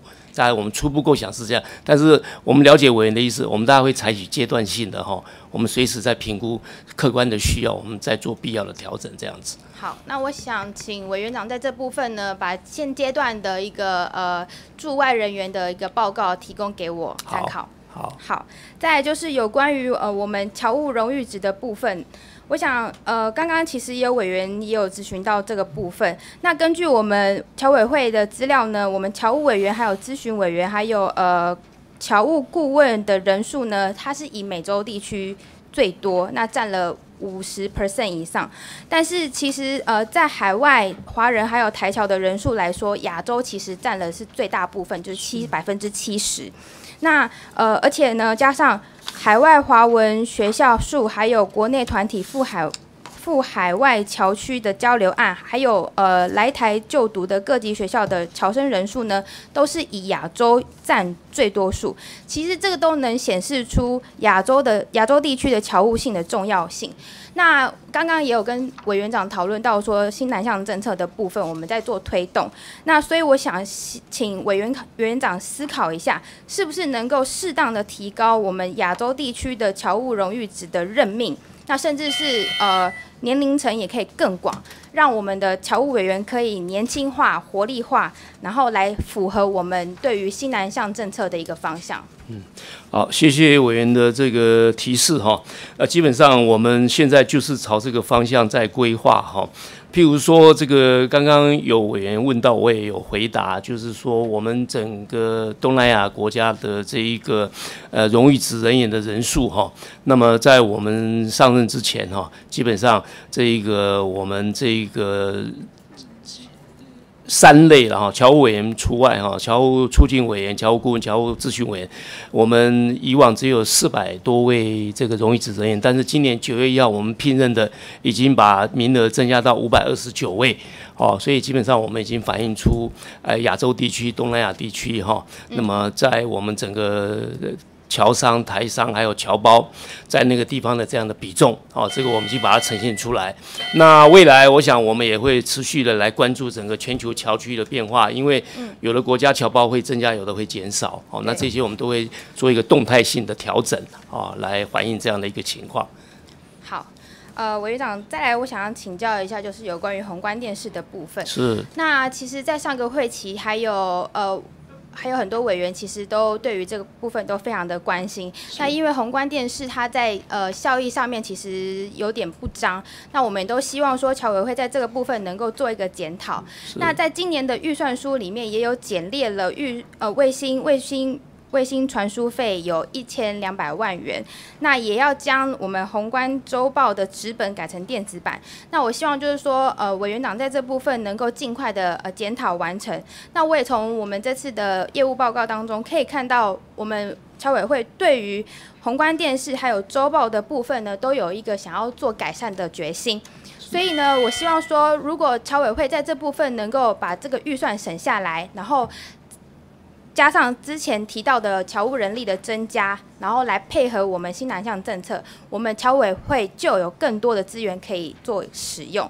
所以我想请呃委员长在这部分可以继续的努力。好，是的，谢谢委员的指教，我们会来持续来努力。好，最后的部分呢，我想再请教，就是说委员长在我们的业务报告当中，里面有提到一个创新侨务的作为，那里面其实有提到了四项。第一项呢，就是推动侨胞安心计划，行销台湾健康产业。那第二项呢，就是建制海外侨界关怀防护网络，服务旅外国人。那第三个呢，是建建构海外侨校志工教师媒合平台。那第四个是推动台湾青年海外。搭桥计划，那我想请教委员长，在这部分我们的成效是如何呢？呃，跟委员报告，这些都是我们这个五二零之后，我们上任之后，我们新规划出来的一些工作的一个重点哈。对。那我们大概要到年底左右才会在全全球桥区。把这样的信息，把这样的一个功能，把它建制起来。所以大概我们希望到明年，我们希望我们这样的一些新的施政作为，能够加强我们侨委会对侨胞的服务，这是我们希望的一个目标。这样子。这是明年，明年大概明年，哎，现在才在规划，慢慢已经规划好了。这是新的政策。好，委员长，为什么我会提出这个这个呃，希望你们在这个侨侨务作为上面能够尽快的加速？因为在第二点当中呢，我刚刚看到就是说你们有辅导国内国国人参与海外体育赛事或是交流训练等等的一个一个关照和关怀，甚至是为了我们这些选手加油打气。是。那我想这是我们非常好的一个一个一个作为，因为我们在。国外比赛的那些选手呢，他们是需要呃被照顾，让他们能够专心的去做比赛，来为我们国呃台湾争光。那这是我们侨委会可以为他们协助的事情，所以我希望说呃侨委会在这部分好的作为要继续的努力。是。那刚刚讲到要检讨的部分，我也希望说。委员长在这部分未来一定要做个改善。是，谢谢委员的指正。今年那个奥林匹克委员会在巴呃巴西举办的时候，我们侨胞大家就动员起来煮饭给我们的选手吃，要不然他们的肠胃都不不太适应，所以我们感谢我们的侨胞。哎，谢谢委员的指教，谢谢。谢谢委员长。嗯，因为王定宇是本委员会哈，大家要求。他讲完了哈，啊，请王定宇。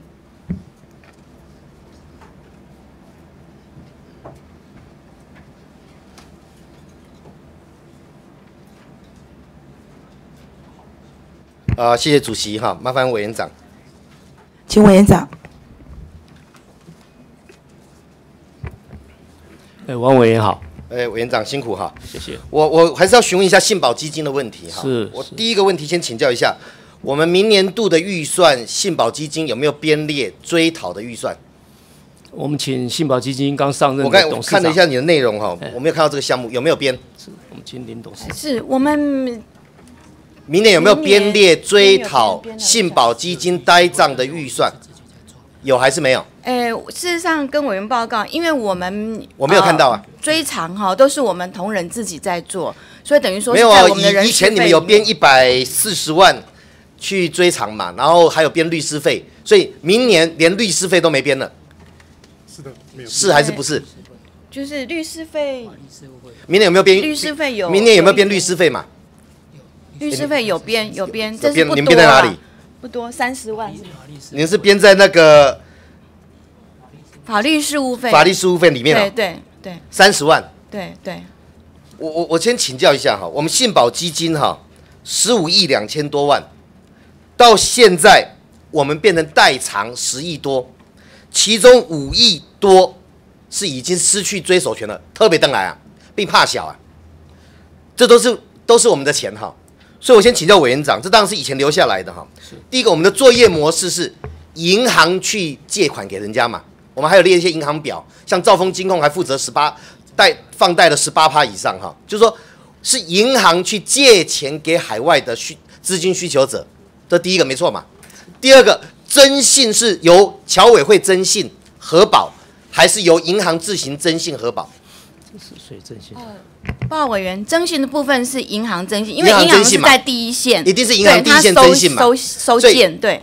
这个由银行去放贷，银行征信，银行核保，然后最后人家不还，侨委会来还，也不是侨对，我们信保基金来还嘛？对，我们信保基金，就就我们一样嘛，就我们对侨委会的信保基金来还嘛。跟你你会觉得这里面有点怪怪的？其实跟委员报告，因为其实我们啊、海外信保基金呢，等于是政府的一个政策性的银行啦。我们政策其实我们有很多方面，中小企业啊，等等等等。对但是就算助学贷款呢、还不出来，其实还是找父母要了哈。我现在讲这个逻辑，就是说他借给谁，他决定。那个人信用可不可靠，要不要回来，银行决定。然后呢，我们现在百分之六十的信保基金变成替不还钱的人在代偿，而且不还钱的里面有一半根本都要不回来了，已经失去追索权了。这些钱也是民脂民膏。我就是说，以这个模式的问题在于，银行在征信核保的时候，到底有没有落实？他随便借一借，反正人家不还，政府的信保基金要得到，我比跟我比跟借钱的人要钱哈更方便，因为信保不会倒啊，我从这边拿钱就好了。我跟你看出里面问题了吗？是。所以，当他在核贷的时候，我们侨委会这里或者我们信保基金会那边将近二十个员工，他借给任何人，我们自己我们都没有办法表示意见，不容智慧都没有吗？呃，报委员，其实我们其实也有我们内部的审查的程序，我们有内部的法规，然后我们有董事会，像这种先经过你们才进到银行，银行先送件给我们，我们核保以后，他们继续再做就是一个核贷要借钱，海外要借钱的人，先跟银行送件，他第一线。对对，然后银行送到你们这边，然后你们看了也没什么问题，然后再回到银行的放款程序。是是是，那你们你们那里面的员工能看得到个人的信用、财产各方面资料吗？其实这个是银行在那征信报告所以要提供给我们不所以。你们的信信保基金里面员工看什么？我们就是请对银行要把那个客户的征用贷款嘛信对征信报告要给我们看。对我的意思，他丢给你们看的时候，你们的员工看的内容，如果看得很好的话，不会到现在我们有十亿的钱在代偿啊，有五亿的无法需无法追索。是我们要去确实说，去跟银行确认说他的资料是确实的，然后再跟委员报告我我。把我问题简化一点。是委员长，对于我们十五亿的信保基金，有十亿现在在代偿的状态，有五亿根本不能要了，失去追索权了。这样子的信保基金里面的人的内控、银行的外控，你满不满意？听起来这样的一个情况，我想是有需要改革有很有需要改进很大的空间嘛？是是是。因为我我我去借了，送到里面，你们两看起来有两道关卡在把关，可是现在拿不回来的钱金额其实很大，而且一直累积下去啊。不好意思，可不可以跟委员再再说明一下哈？就是说，您刚刚刚提到说我们有十亿收不回来，可是我们的分母哈，我们累计的保证的金额是本金是三千零六十九万美金，也就是说五百二十八亿台币。你那个，所以那个那个我跟委员报算法是在外面流通的。我现在讲，我现在跟你讲的是你们信保基金的摸紧，你们的本钱十五亿，你们十五亿两千多万，现在有十亿在代偿哦，没有没有，我们十五亿两千多万，可是事实上，呃，我们的累亏是四亿，我们累亏是四亿，所以我们净值还有十一亿。所以你觉得这样很好？不是我的意思说，呃，不是，委员您刚刚讲的我第一次听到我的资本额十五亿两千万，累亏四亿，还可以拿来说嘴的哦。不是不是，跟刚刚只是跟跟委员说明说，我您我还没有讲说是谁的错，我的意思是说这一套管理办法看起来有一点问题啦。问题不见是你们啦，就是说我们十五亿的本钱，然后去担保，也许用杠杆我可以跑出去几千亿没有问题，但是你们现在十五亿的本钱，你说累积亏损四亿多，然后我们失去需索追索权的有五亿多，这大概有重有重叠的部分。在一个十五亿的资本规模去担保这样的情形的话，我觉得银行那边的征信跟核保可能过于松散，尤其我们最近发生海外的银行。第二个，他送来的资料给我们，我们的人员并不是银行界的人员呐、所以你是就他送给你的资料来看嘛。那他敢送给你，你的资料看起来大概没有问题啊。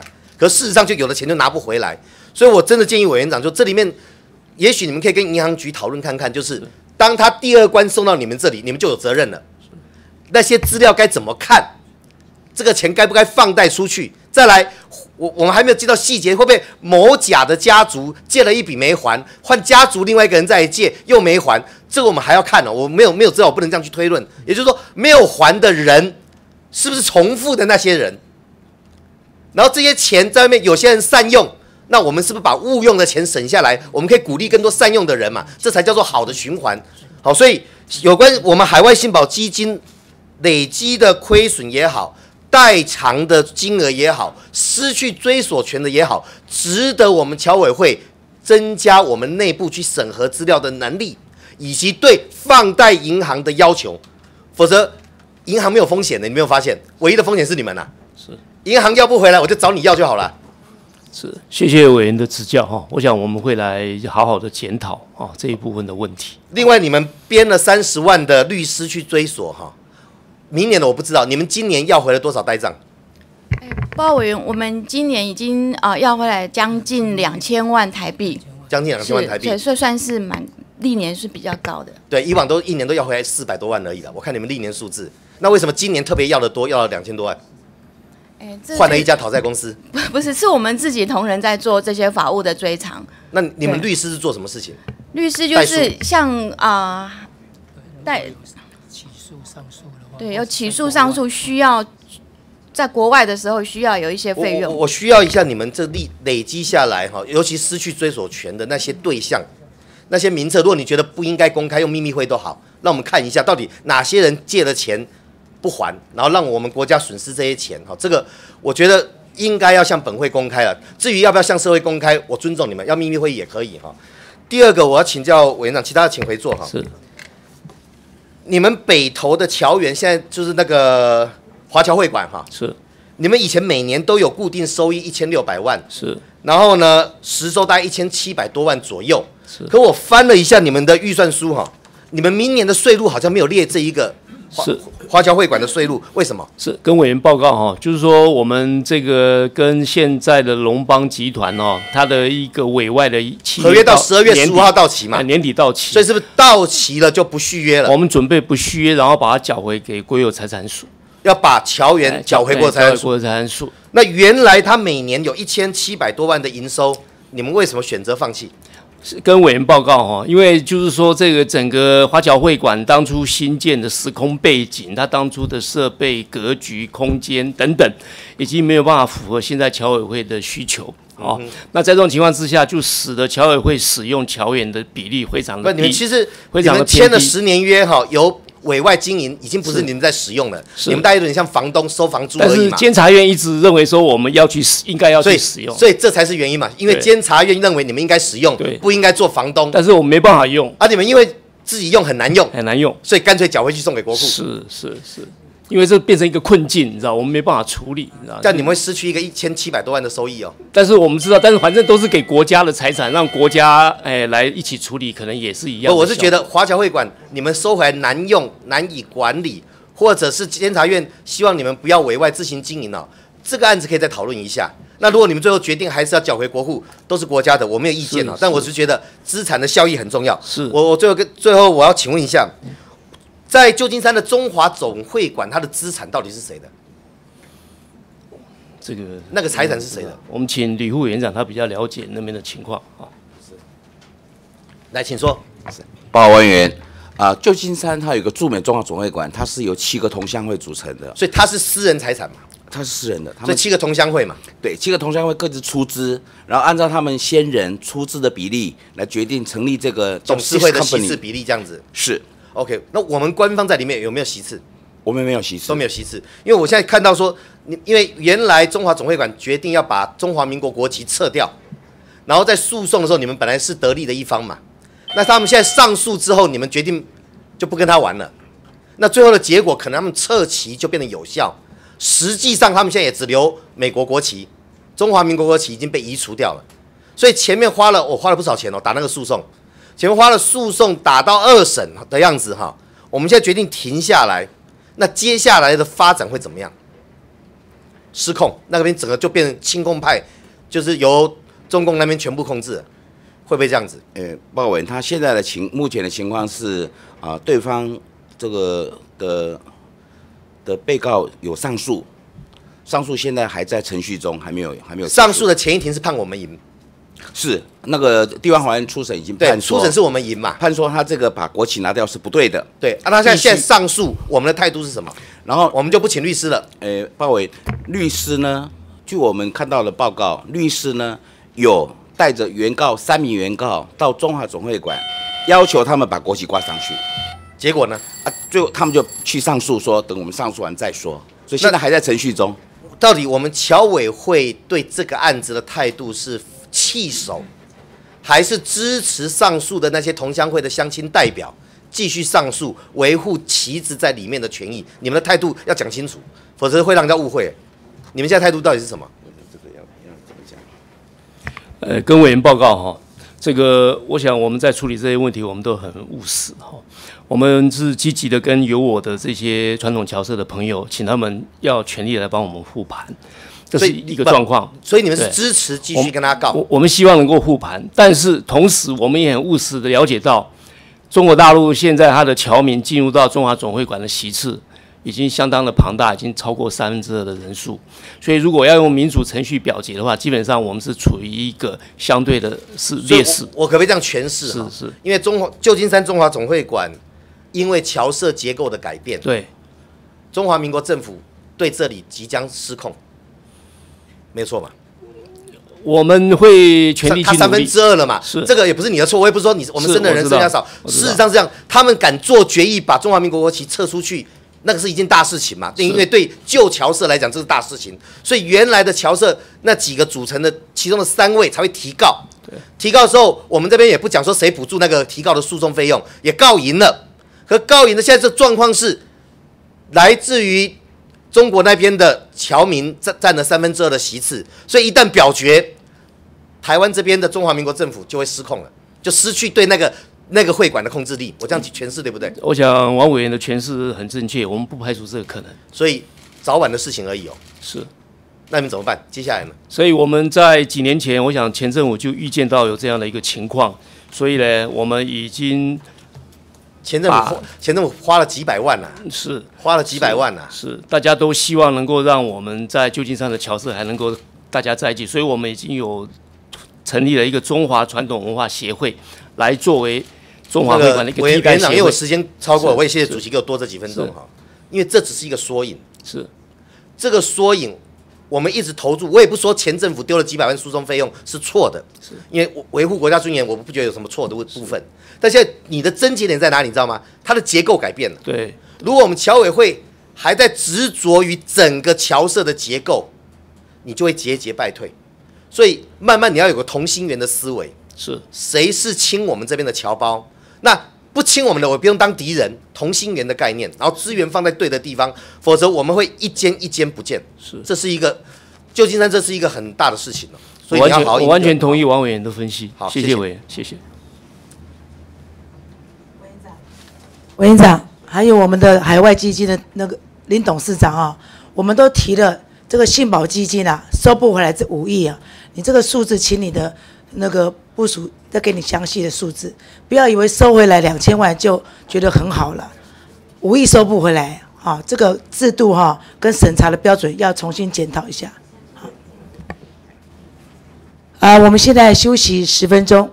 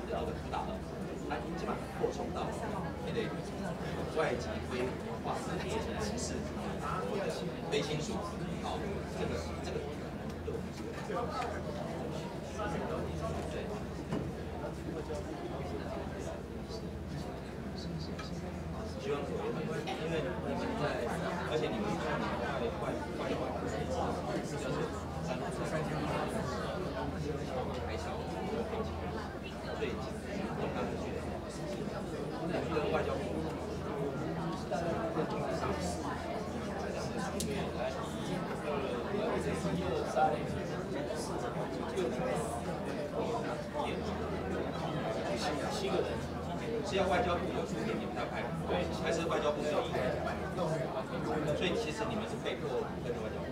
其实要是以我们的华侨的部分这个台上那个密度跟人数，那也是重视，应该是很但是因为外交部它的工作重点是这个思维，邦交国思维，你们是侨民思维。哎，来来来来，各位哦，哎，我们的基金会的呃海外海外的吴啊吴啊吴吴吴董吴董事长当局长，哎哎哎，伊迄个好，伊迄个在伊办他们是属于台湾，伊对台商来讲，还有什么？对呀对，像以前啊，所以我就觉得哈，你们这样，我觉得外交。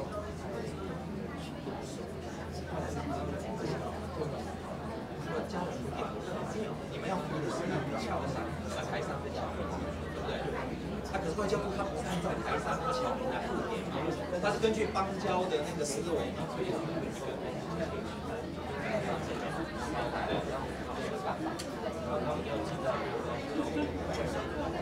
啊，你得好了解，对啊，那他怎么去？就往往打。那我们的侨务要跟这个是在外交部没有设置，这是要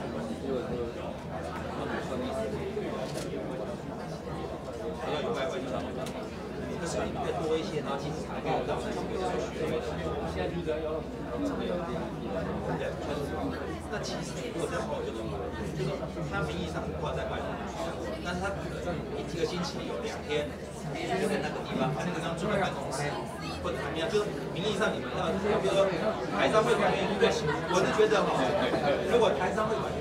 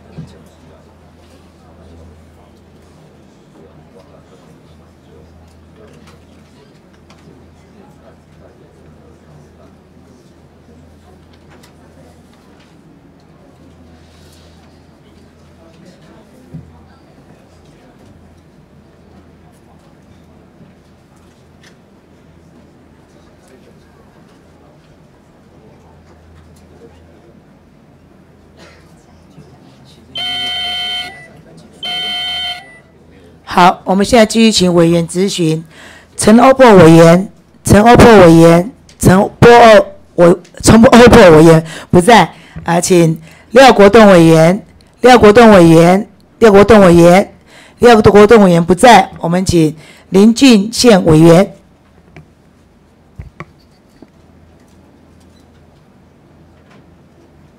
好，谢谢主席。啊，本席邀请吴委员长。请委员长。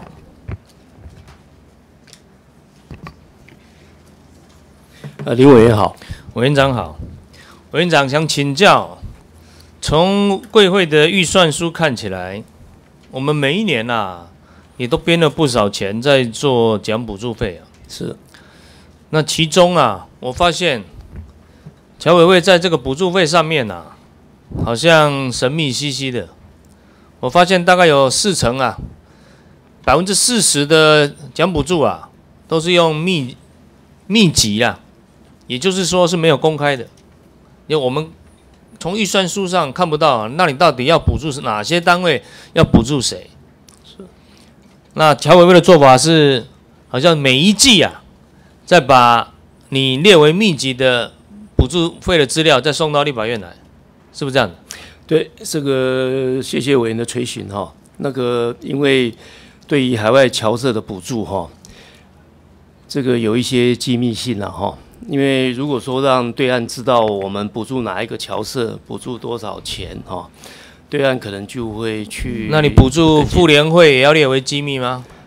那个是以前政府没有错的，那为什么要列为机密呢？妇联会啊，现在侨委会补助他，几乎每年都有了。你不，你知不知道妇妇联会比你侨委会还有钱？我知道。那你要补助他？我们五二零五五二零之后就没有了，五二零之后就没有了。所以那是以前政府的事，是是。所以在你任内不会再补助妇联会，不会不会不会再发生。好，哎不会。就算前政府的事，我请教啊，是你把它列为机密，是因为补助妇联会啊，在美国还在哪里办一个龙舟比赛，是不是这样？是是是怎么样？是不是？请请处长。五二零以前是五二零以前，别你不要一直讲五二零嘛，因为吴吴委员长是五二零以后上任。所以在这项侨委会之前补助妇联会啊，在美国是办个龙舟比赛，列为机密。那有没有人去看？几艘龙舟啊？都不知道。我们请这个侨教处张处长，他大概了解这个情况，回应一下。呃，跟委员报告一下啊，实际上那个那个龙舟赛是一个非常大的，可能就是差不多有上万人的这样的一个一一上万人。对，资料拿给我看一下，上万人。我们可以提供资料，但在美国办一个龙舟比赛，上万人。对，我们台南运河龙舟都没有那么多人，你可以在美国上万上万人来看，包括一些政要都有出席啊。那我们可以提供那些资料，好不好？谢谢。所以你觉得办得很成功？哦，他每年在办都办得相当成功，就是说所谓国民外交的这个部分呢，他们的的确是做。那你为什么现在就不不补助他了？呃，其实，在海外的这个部分，不是说要不要补助这这个部分了，就是他很有钱呐。不，因为我们我们对海外的钱几百亿的身价，你给他，他比你有钱，你给他钱。还有啊，以后像这种，你是你是你是管什么部分？讲补助你你主管的吗？哦，我是侨教处。侨民啊，对。文化教育像这种啊，应该要资讯透明，那敢做就要负责任。你每一季过后啊，再把已经花到哪些钱送到立法院来，那有什么那那有什么用？钱都花光啦，钱都使用啦，都拨给人家了，那等于事后报备，这逃避监督嘛。我觉得这个做法非常不好。妇联，我觉得你们，我觉得侨委会的这些这些的补助补助啊，应该更透明一点。是。哦，好不好？那我们可以看到嘛，为什么哪些某些团体可以得到你的补助？啊，那补助它的作用是什么？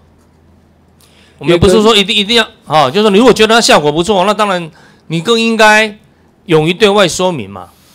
这跟跟委员报告了哈，这个就我举一个例子啦，这个对于我们海外侨团的补助哈，我们从侨委会的角度，我们倾向是不要公开，原因就是说，譬如说。我想我们国内民意代表都有调卡嘛哈，有时候你去报红白帖，你一公开，到时候大家一看，哇，一包一卡这包一卡借乱起，你知道？那你送到立法院来，不是还不是一样公布了？我们只用密件让委员了解这样子，哎，用密件让委员，人家也早晚知道了哦，因为你这个做法，所以彼此之间的海外侨团都不知道你对方补助多少，你骗笑哎，能稍微打听一下也知道嘛？可能对岸他不会知道了，对岸怎么不会知道？台湾资讯更透明。发生什么事情？这个有什么好机密的？再来，我想请教委员长，是在政府的新南向政策里面啊，有编了两亿啊给侨委会。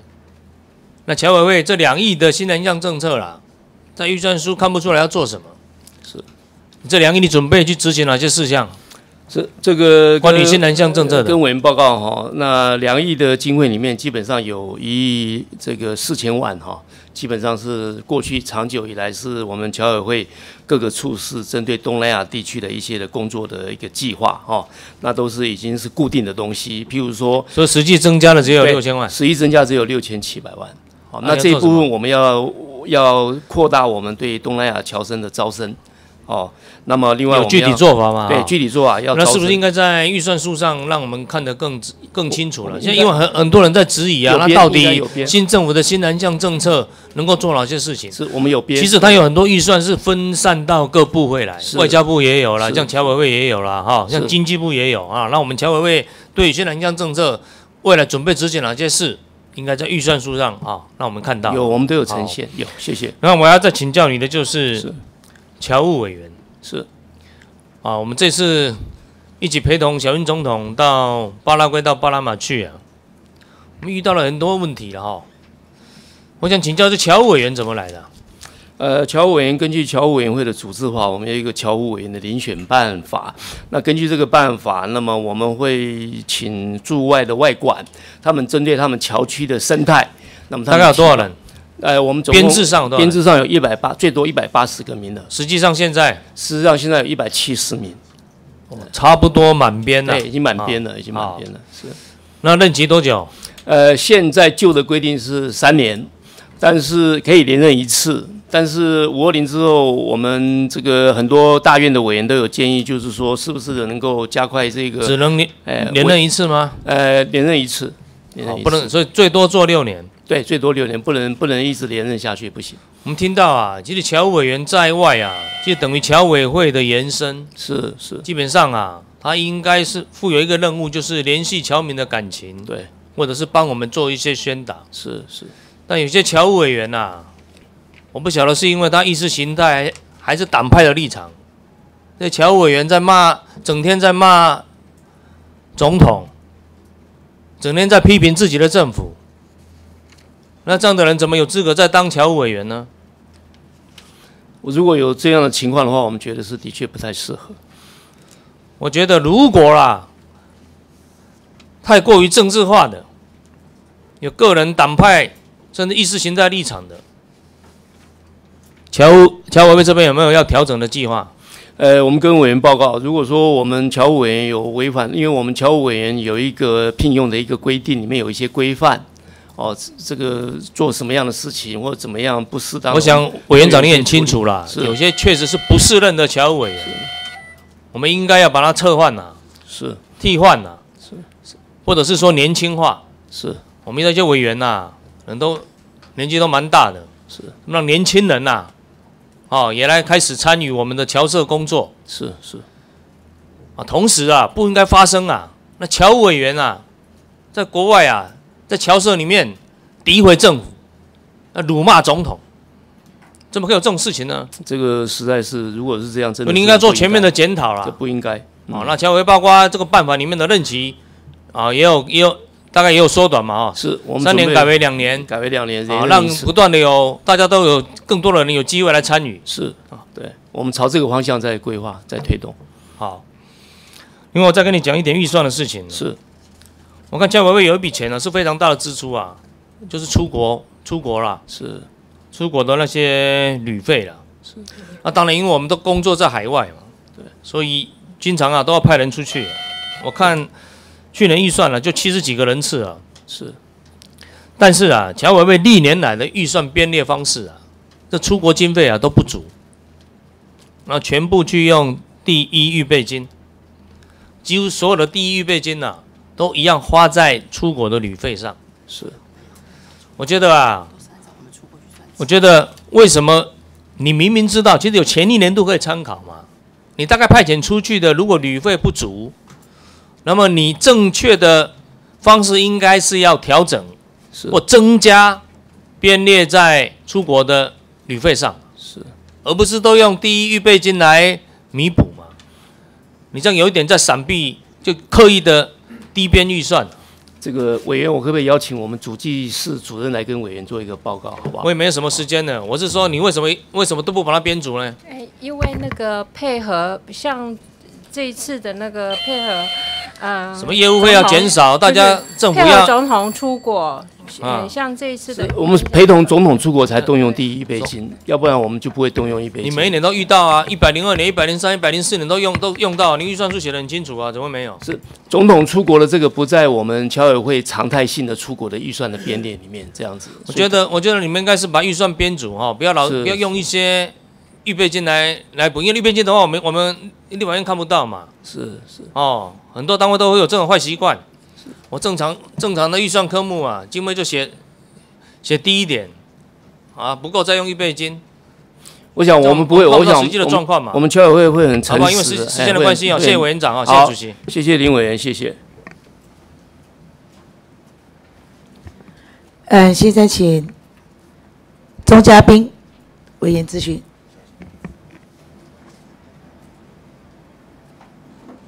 主席、与会的委员先进、列席的政府机关首长官员、媒体记者女士先生、工作同仁，大家午安。那么有请吴委员长。请委员长。钟委员好，呃，委员好。那个世界台商总会刚落幕啊，是，好是，那办的蛮成功的，谢谢。呃，也听到很多对侨委会的肯定，尤其对您个人哈。我那天看你在会场上不停的穿梭了。好，那我看了一下你的报告，你这边有一个很大的篇幅在谈南向政策，我就现在来谈一下南向政策。历年的南向政策呢，这是在李登辉前总统时期所制定的，大概那时候叫做南进。是。好，那现在我们总统府现在有一个新南向政策，委员长好像你们对这个新南向政策蛮重视的嘛，哈。是是。那么我想大概基础呢，有一个部分的基础，我来跟委员长做一个参考。是。首先，我们看到的外籍配偶的人数。啊，从七十六年开始，将近二十年的时间，三十年的时间呢，外籍配偶的人数到目前累计有将近十七万人。好，我们再看一下，至于说生母为外国籍新生儿的人数，就是妈妈是外国人的，哈，来到台湾的，那么累计到呃九十三年到一百零五年，哈，这二十二年的时间，呃二十呃八年的时间，哈，就高达了十一万人。如果把之前的占据更不止如此了，哈。那我们接下来呢，看到外劳的部分呢？到一百零三年为止，一共有五十五万人。那我们知道，在台湾社会对外劳的看法，对台湾社会的冲击是比较保留的，是比较负面的。但是我们对于新台湾之子跟外配会有全然不一样的思考。所以呢，在这里呢，我要看一下哈，您所提出来的总统府的这个新南向政策当中啊，有没有注意到？因为这里面有光笔，新住民力量的发挥，委员长有没有看到这一个部分？看到，看到。好，新住民就是指。来台的外配，跟他所产生的下一代的新台湾之子，是。所以呢，这里面以人为本，因地制宜，目标市场有东协十国、亚南亚六国以及纽澳。好，那么我想跟委员长说明一下，在我们看一下台湾跟我们的周边国家，菲律宾今年的人口中位数是二十三点二岁，以及说它有一半的人口是在二十三岁以下。台湾等同的年代是在民国七十年，越南的人口中位数是二十九点六岁。等同于台湾民国八十五年的人口中位数。那台湾呢？台湾现在呢，在一百零五年，我们的人口中位数是四十岁。啊，四十岁以下的请举手。啊，不用举手，我相信你们看起来都很年轻哈，都没有超过四十岁。日本是四十六点五岁，台湾再过十年，不用十年就追上了。台湾是一个目前严人口结构啊，有受到严重的扭曲跟老化。所以呢，我们在看待其他的国家的时候呢，泰瑞莎修女说过一句话：“爱是在别人的需要上发现自己的责任。”在企业的经营者呢，他是从顾客的需要上发现呢自己的商机。但是我们新南向呢，有必要从邻近国家的需要上找到自己国家的优势跟发展的契机。那我是觉得呢，我们从人口的中位数、人口的结构来思考。台湾的新南向面对周边这些相对年轻的国家，他们需要什么？所以接下来呢，我要几个部分看到了委员长你们的业务报告之后，我有几个部分要请大家厘清一下。我以越南为例，当我们今天我们要培育人才的时候，一定要想象说，他未来是为谁所用？如果他是要为越南的国家所用，那台湾的教育有哪些的优势？可能是在高等教育的阶段。可能是在博士呃研究所跟博士学成的阶段，但是如果是要给越南的台商使用呢，可能他需要的是熟悉的是华语为主，因为大部分台商在这些国家的制造业呢，他的老板本身没要供营业来，你改派营业干部是不好的啦，吼，现在供台一较重要，所以呢，我们就发现说，你要应应着你的对象所需要的人才来思考他所需要的语言能力跟他的学成阶段。那如果是台湾的船产呢？没有错，我们台湾的船厂目前大量使用外劳，但是这些外劳他不可能在台湾定居，他也不可能在台湾学习华语。但是我们有哪些哪些可能的外来的人力，他可能在台湾接受高职的教育，然后留下来，可能成为台湾所需要的技术劳动力呢？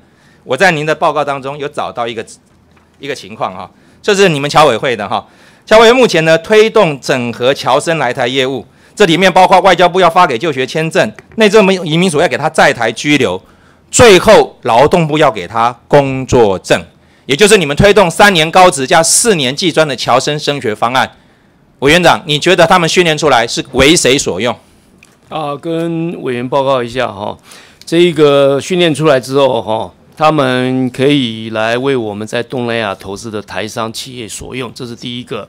第二个，如果劳动部这边相关，就是说这个侨外生留台的这个工作的相关规定得到这个立法院的通过之后，他们也可以留在台湾工作，好为我们企业所用。没有错，您锁定了两个，一个是台湾的船产，一个是在外国的台商。是。那我们看一下你三加四的技职侨生，过去您有的就是这些科目，美容、餐饮啦，还有电子呢跟资讯。是。但是不管是在台湾还是在台商。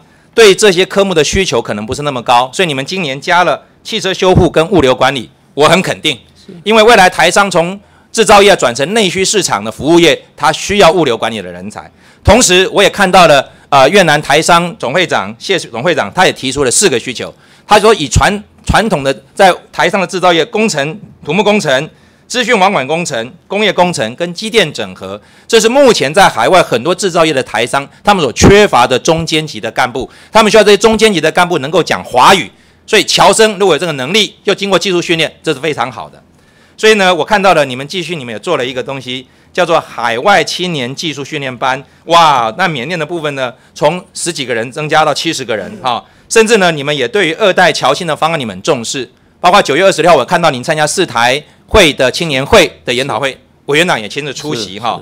那么这里呢，我看到最让我感到呃很肯定的，就是新的视野呢，就是配合国政布局新南向的发展。你们在你们的业务报告当中呢，特别提到这一点哈。你们在第三十六页的时候，鼓励新台湾之子的堂表亲属来台就学。你这里提到说，新台湾之子在母国的堂表亲属，如符合现行法规所规范的侨生资格，鼓励他加强他的照护呢，来台升学。这时候你要配合内政部跟教育部来谈。我想请教委员长，你这个思维的考量重点在哪里？我跟委员报告一下，就是说，我们第一，我们国内现在各大专院校少子化很严重哈，所以缺少学生。这个我们认为需要有更多的东南亚的学生，不管他是侨生或是外籍生的身份，到台湾来读书，这对我们各大学是有帮助的。然后呢？然后第二，我想透过这样的我们新台湾之子他们堂表亲来哈，那么他们来这边读完书之后，他可能再回到他们的自己的祖籍国去之后，为母国所用，为母国所用，然后跟我们台湾有还有没有更更紧密的联系哈？第三，我想这些人愿意来台湾读书，我想最终还是成为我们台湾的力量。好，我觉得委员长这个眼光是很宏远的，没有错。我们台湾的社会认为，传统的没有技术的外劳来台湾是拉低我们的工资水平。但是，如果我们补充这些优秀的青少年人口来台湾接受教育，成为有技术的劳动力，这是台湾所欠缺的。如果侨委会能够将视野更扩大。不仅限于传统的侨生，你这里面的相关规定啊，我真的要好好的请你们在一定的期限内，可不可以告诉我什么是相关规定？因为很多人在问，是我在屏东有很多的新台湾之子呢，他们的母亲如果知道说有这个机会，他的娘家的这些卑亲属，他小孩的表兄弟姐妹、堂兄弟姐妹有机会来到台湾的话，他可以接受台湾的高职教育。很抱歉哈，台湾现在高职教育，我们本地的孩子啊，念一念都要升学啊。船产是找不到人力的，我们十八岁到二十五岁的劳动参与率，本国青年呐是不到一成，所以当我们台湾社会需要这些劳动力，但是我们又不想要用这些来了回去的移工外劳，那么这些新台湾之子，因为他在台湾，他的阿姨哈在台湾嫁到台湾，他有一个社会人脉的支撑的时候，我们相信他在适应上比较能够接受台湾，而且他在家里呢有跟表兄弟姐妹、堂兄弟姐妹有办法共处。同时也有助于回复啊，我们新台湾之子这些长期过去在我们的教育比较忽视，他们都把他们母语忘掉了。现在很多台商都说，他找那个新台湾之子啊，妈妈是越南的，结果呢，小孩是不会讲越南话，因为学校没有给他保留机会。如果说今天十五岁，他的表兄弟姐妹从越南来到台湾，跟他住在一起，或者住校，星期六日在一起，在学校在一起，他的语言还有这个妈妈，他自然很容易的回复。在台湾从出生长大的新台湾之子，如果能够有他母国的母亲母国的语言，对我们的台商发展当地的关系是再好不过的。我想委员长都很清楚嘛。是。那最后我要拜托委员长一件事情，刚刚在私下听您谈到，目前我们侨委会在海外的风评啊，我听到台商口中的都比外交部好。但是呢，因为受限到外交据点呢、我们的侨务工作人员只能派在外交驻点，是不是可以增加人力？然后对于无据点的国家呢，我们可以借用台商在当地国的一些办公厅舍呢，来为我们当地的侨胞服务，可不可以？是，我想钟委员的建议哈和想法非常的好，而且非常的积极哈，我们也是往这个方向在规划。我们准备配合新南向政策，我们大概在越南的胡志明市河内、印尼的泗水，还有马来西亚，我们大概会增派四名侨务秘书，然后来呃胡志明要监管这个柬埔寨，因为柬埔寨我们没有外管，所以我们要侨务秘书进入到柬埔寨提供服务。河内要监管辽国，进入到辽国服务。那这些我想都是配合整个布局来来来来做搭配。好，所以说主席不好意思，如果是柬埔寨或那个辽辽国的台商愿意提供办公地点，是。也可以让我们的侨务人员就近来服务台商跟侨生。是啊侨胞，好不好？可以可以好，谢谢委员长，谢谢您，谢谢。谢主席，谢谢谢谢。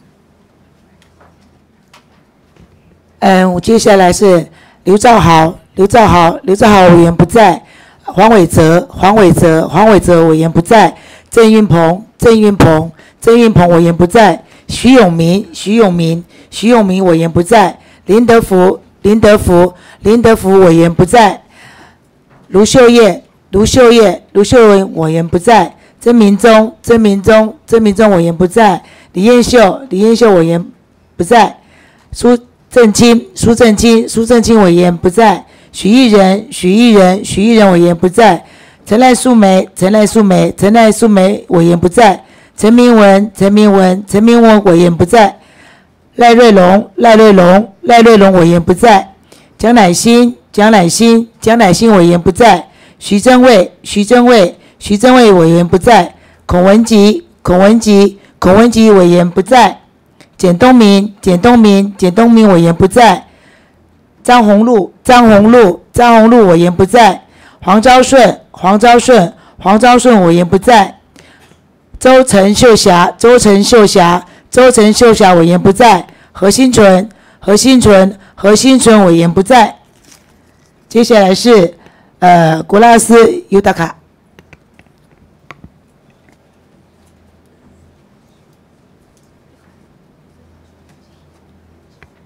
主席，有请委员长。请委员长。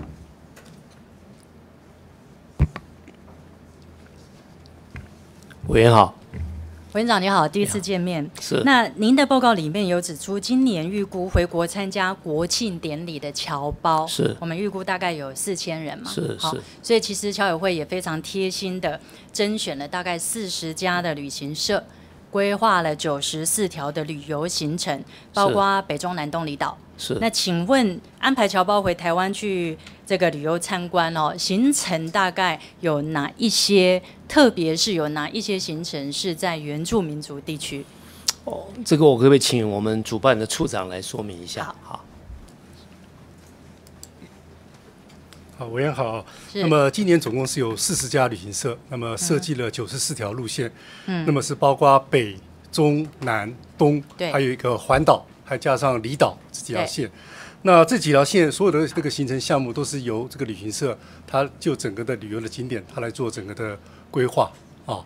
那它，那它它是它这个叫什么？如果说有没有具体针对这几个原住民的话，我想我要回去看一下，我才知道这里面的九十四条里面的细节的东西。好，我会建议处长哦，你们要回去看，而且旅行社开出来的行程，你们要非常小心、审慎的 review 一遍，因为其实促进各县市的观光收益很好哈，尤其是在近期，那么那么多的侨胞回来，我个人是绝对举双手赞成的，尤其到原民地区是很棒的，但是我非常担心你们到底有没有挑对地点，因为你们曾经犯过在我主观的看来是非常严重的错误。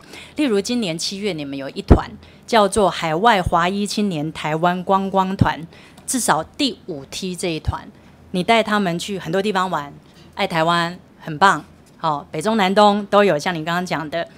即便是去原住民族地区，去的大概都是汉人比较多的、原住民比较少的风景区。那么，其实这也没有关系。但是，唯一一个看起来哦，跟原住民族很直接相关的一个点，就是民间经营的以原住民族作为装饰跟话题行销手段的，实际上是作为游乐区旅游事业的九族文化村。好，那我要强调的是说，民间的企业当然可以有他自己行销宣传的手法，其实我们都尊重。我个人也祝福这家公司这个业务蒸蒸日上。但是我要跟您讨论的是说，侨委会拿着纳税人的钱，规划侨胞回台湾旅游的行程，尤其这一团是海外的青年学子。他们回到台湾，要认识他的故乡台湾。我们希望他看见真正的台湾，结果你们却把他带到经常误用或错字原住民族时空、历史，甚至穿着的游乐区。您认为这有助于我们旅海外、旅居海外的年轻人认识他真正的故乡台湾吗？啊，跟委员报告哈，谢谢您的指正哈。那基本上我们也发现到这一个九族那个地方。不是一个很好的点哈，所以我们从上个月开始哈，所有国外回来的访问团哈，我们都不安排去九族，我们现在都转到顺义原民博物馆去参访这样子。顺义原民博物馆其实，呃，我必须说，这是一个小规模的，也是民间经营的博物馆，非常的有限。好，那其实他们收集了非常多非常精致的这个文物，但是其实毕竟我们还活着。我们还是活生生的人，是是。好，我想要认识原民，不需要老师要到博物馆去。我可不可以私底下再告诉给我们一些建议好了哈？好，日前联合国大会哦期间，那其实大家包括我自己哦，有到华盛顿特区，有到纽约，当然也见到了一些侨胞哈。那但是我发现说，不止侨胞，那连很多海外国就国外的朋友，其实甚至不知道台湾有原住民。哦，这个是令我也蛮挫折的。那即便知道也有很多错误的资讯，可是偏偏呢，就是我们这个这个招待侨胞回台湾的旅游行程，或者补助台湾出国的表演的团体，那其实侨委会很爱找原住民，我有这个一这个这个感受哈。是是。那经验上，这的确也是，因为的确原名是台湾很重要的特色，可是。当然，我们也希望侨委会继续往这个方向做。好，我这边提出来任何的质疑，并不是说不要这样做，是是，绝对要继续这样做。可是您的讯息一定要正确，不要二度伤害我们。至少一直到今天为止，今天哦，我刚刚从办公室来，你们的官方网站上有一个叫全球华文网，是好，里面的华海文库的专区提供的原住民剪影里面这一块是错误百出的，中文版也是哦，英文版也是。那我想请问委员长啊，您知道九族导论哈？我们看一下这句话到底错误在哪里？您知道吗？我认为现在台湾不止九族吧？哦哦，对，很多族了嘛，很多族了，可是几族你知道吗？十六族是？十六十六族了，十六族大概有哪几族？我相信在座可能很多人也不见得讲得出来哈。我们看一下九族里面，我们大概刻板印象中的这些九族。好，那其实。我们看到，在这个网页里面有非常多错误的资讯，包括这些九族，包括所有的照片都来自九族文化村。我并不理解为什么大家都要去九族文化村，即便是官方经营的原住民族委员会里面呢，其实我们在屏东也有一个原住民族文化园区。好，其实这个是官方来自己。作为一个嗯一个 protocol，就是好像是一个入门哈，可是我不懂为什么老是非常多的讯息来自九州文化村，你看非常多，我们继续看，你们这个网站其实非常的重要。因为海外的华人华侨要回来，其实还蛮仰赖侨委会的。我发现，在海外的华人其实哦，这个凝结力是很够的，尤其在海外倍感孤单哦，所以其实我们大家的侨胞会很容易聚集在一起。可是我们看年轻的一代，不见得会说会讲华文，可是连英文版哦都非常的错误。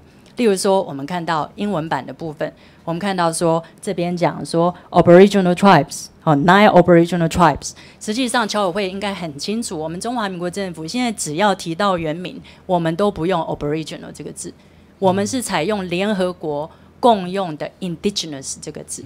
所以你们去看原住民族电视台叫 Indigenous TV，然后去看原住民族委员会，你们自己的部会 Council of Indigenous Peoples。所以这个是一个严重的错误。那再来，我跟你讲哦，我是阿美族的哈，你看阿密斯哦，所以其实这边也拼错了。好，即即便在这边这个这个九族已经是错了，连里面的这个资料也都是错的。那继续我们再看哦，我们的这个总统他是排湾族，他的祖母是排湾族，结果我又点进来看。我们排湾族，排湾族大家都知道，如果稍对排湾族有了解，大家会知道说排湾族是百步蛇的后代。你们的英文都很好，各位。结果你们看这里面写什么？By one call themselves the descendants of a 百步蛇 snake。我不知道百步蛇，百步蛇到底是什么蛇？到底是什么蛇？哈，所以我真的很希望委员长哈这一块，大家很喜欢。使用原民的象征是。来推销台湾，尤其我们在台湾，我们的侨胞也非常的认同。可是拜托拜托，像这一类错误的讯息，一定要即刻改正。所以我想请问委员长啊，这个情况你们可以多久之内改正？呃，跟委员报告，我们很抱歉哦，谢谢你给我们指正哦。刚刚我们同事告诉我说，这些资讯都是二十年前的资讯哦，他们都没有 update，我觉得这个很不应该哈。所以我想，我们大概给我们两个月的时间，好不好？我们把它全部改版。好不好？我们把它全部来改版，来重新制作这一块。可以再短一点吗？那在这之前呢？这些错误的讯息怎么办呢？你们要先下架吗？那我们如如果是这样子，还不如不要让大家。我们先下架。刚刚处长告诉我，他说一个月把它弄完。改版完毕，好不好？给我们一个月。因为我们陆续有那么多侨胞回来是是。我们也希望说有很多的正确的资讯，要正确的资讯，至少要正确吧。是是。尤其当总统跟原民道歉变成国际新闻的时候，是。那我想我们侨委会的网站其实也是一个很重要的。很抱歉，我们也要道歉，真的不对了，这个这样不对，我们要道歉。感谢委员长，谢谢。谢谢。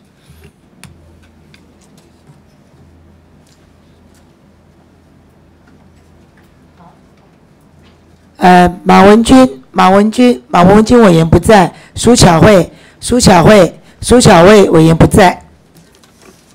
好，嗯，本次议程已登记咨询委员，除了不在场之外，均已发言完毕。呃，报告及询答结束。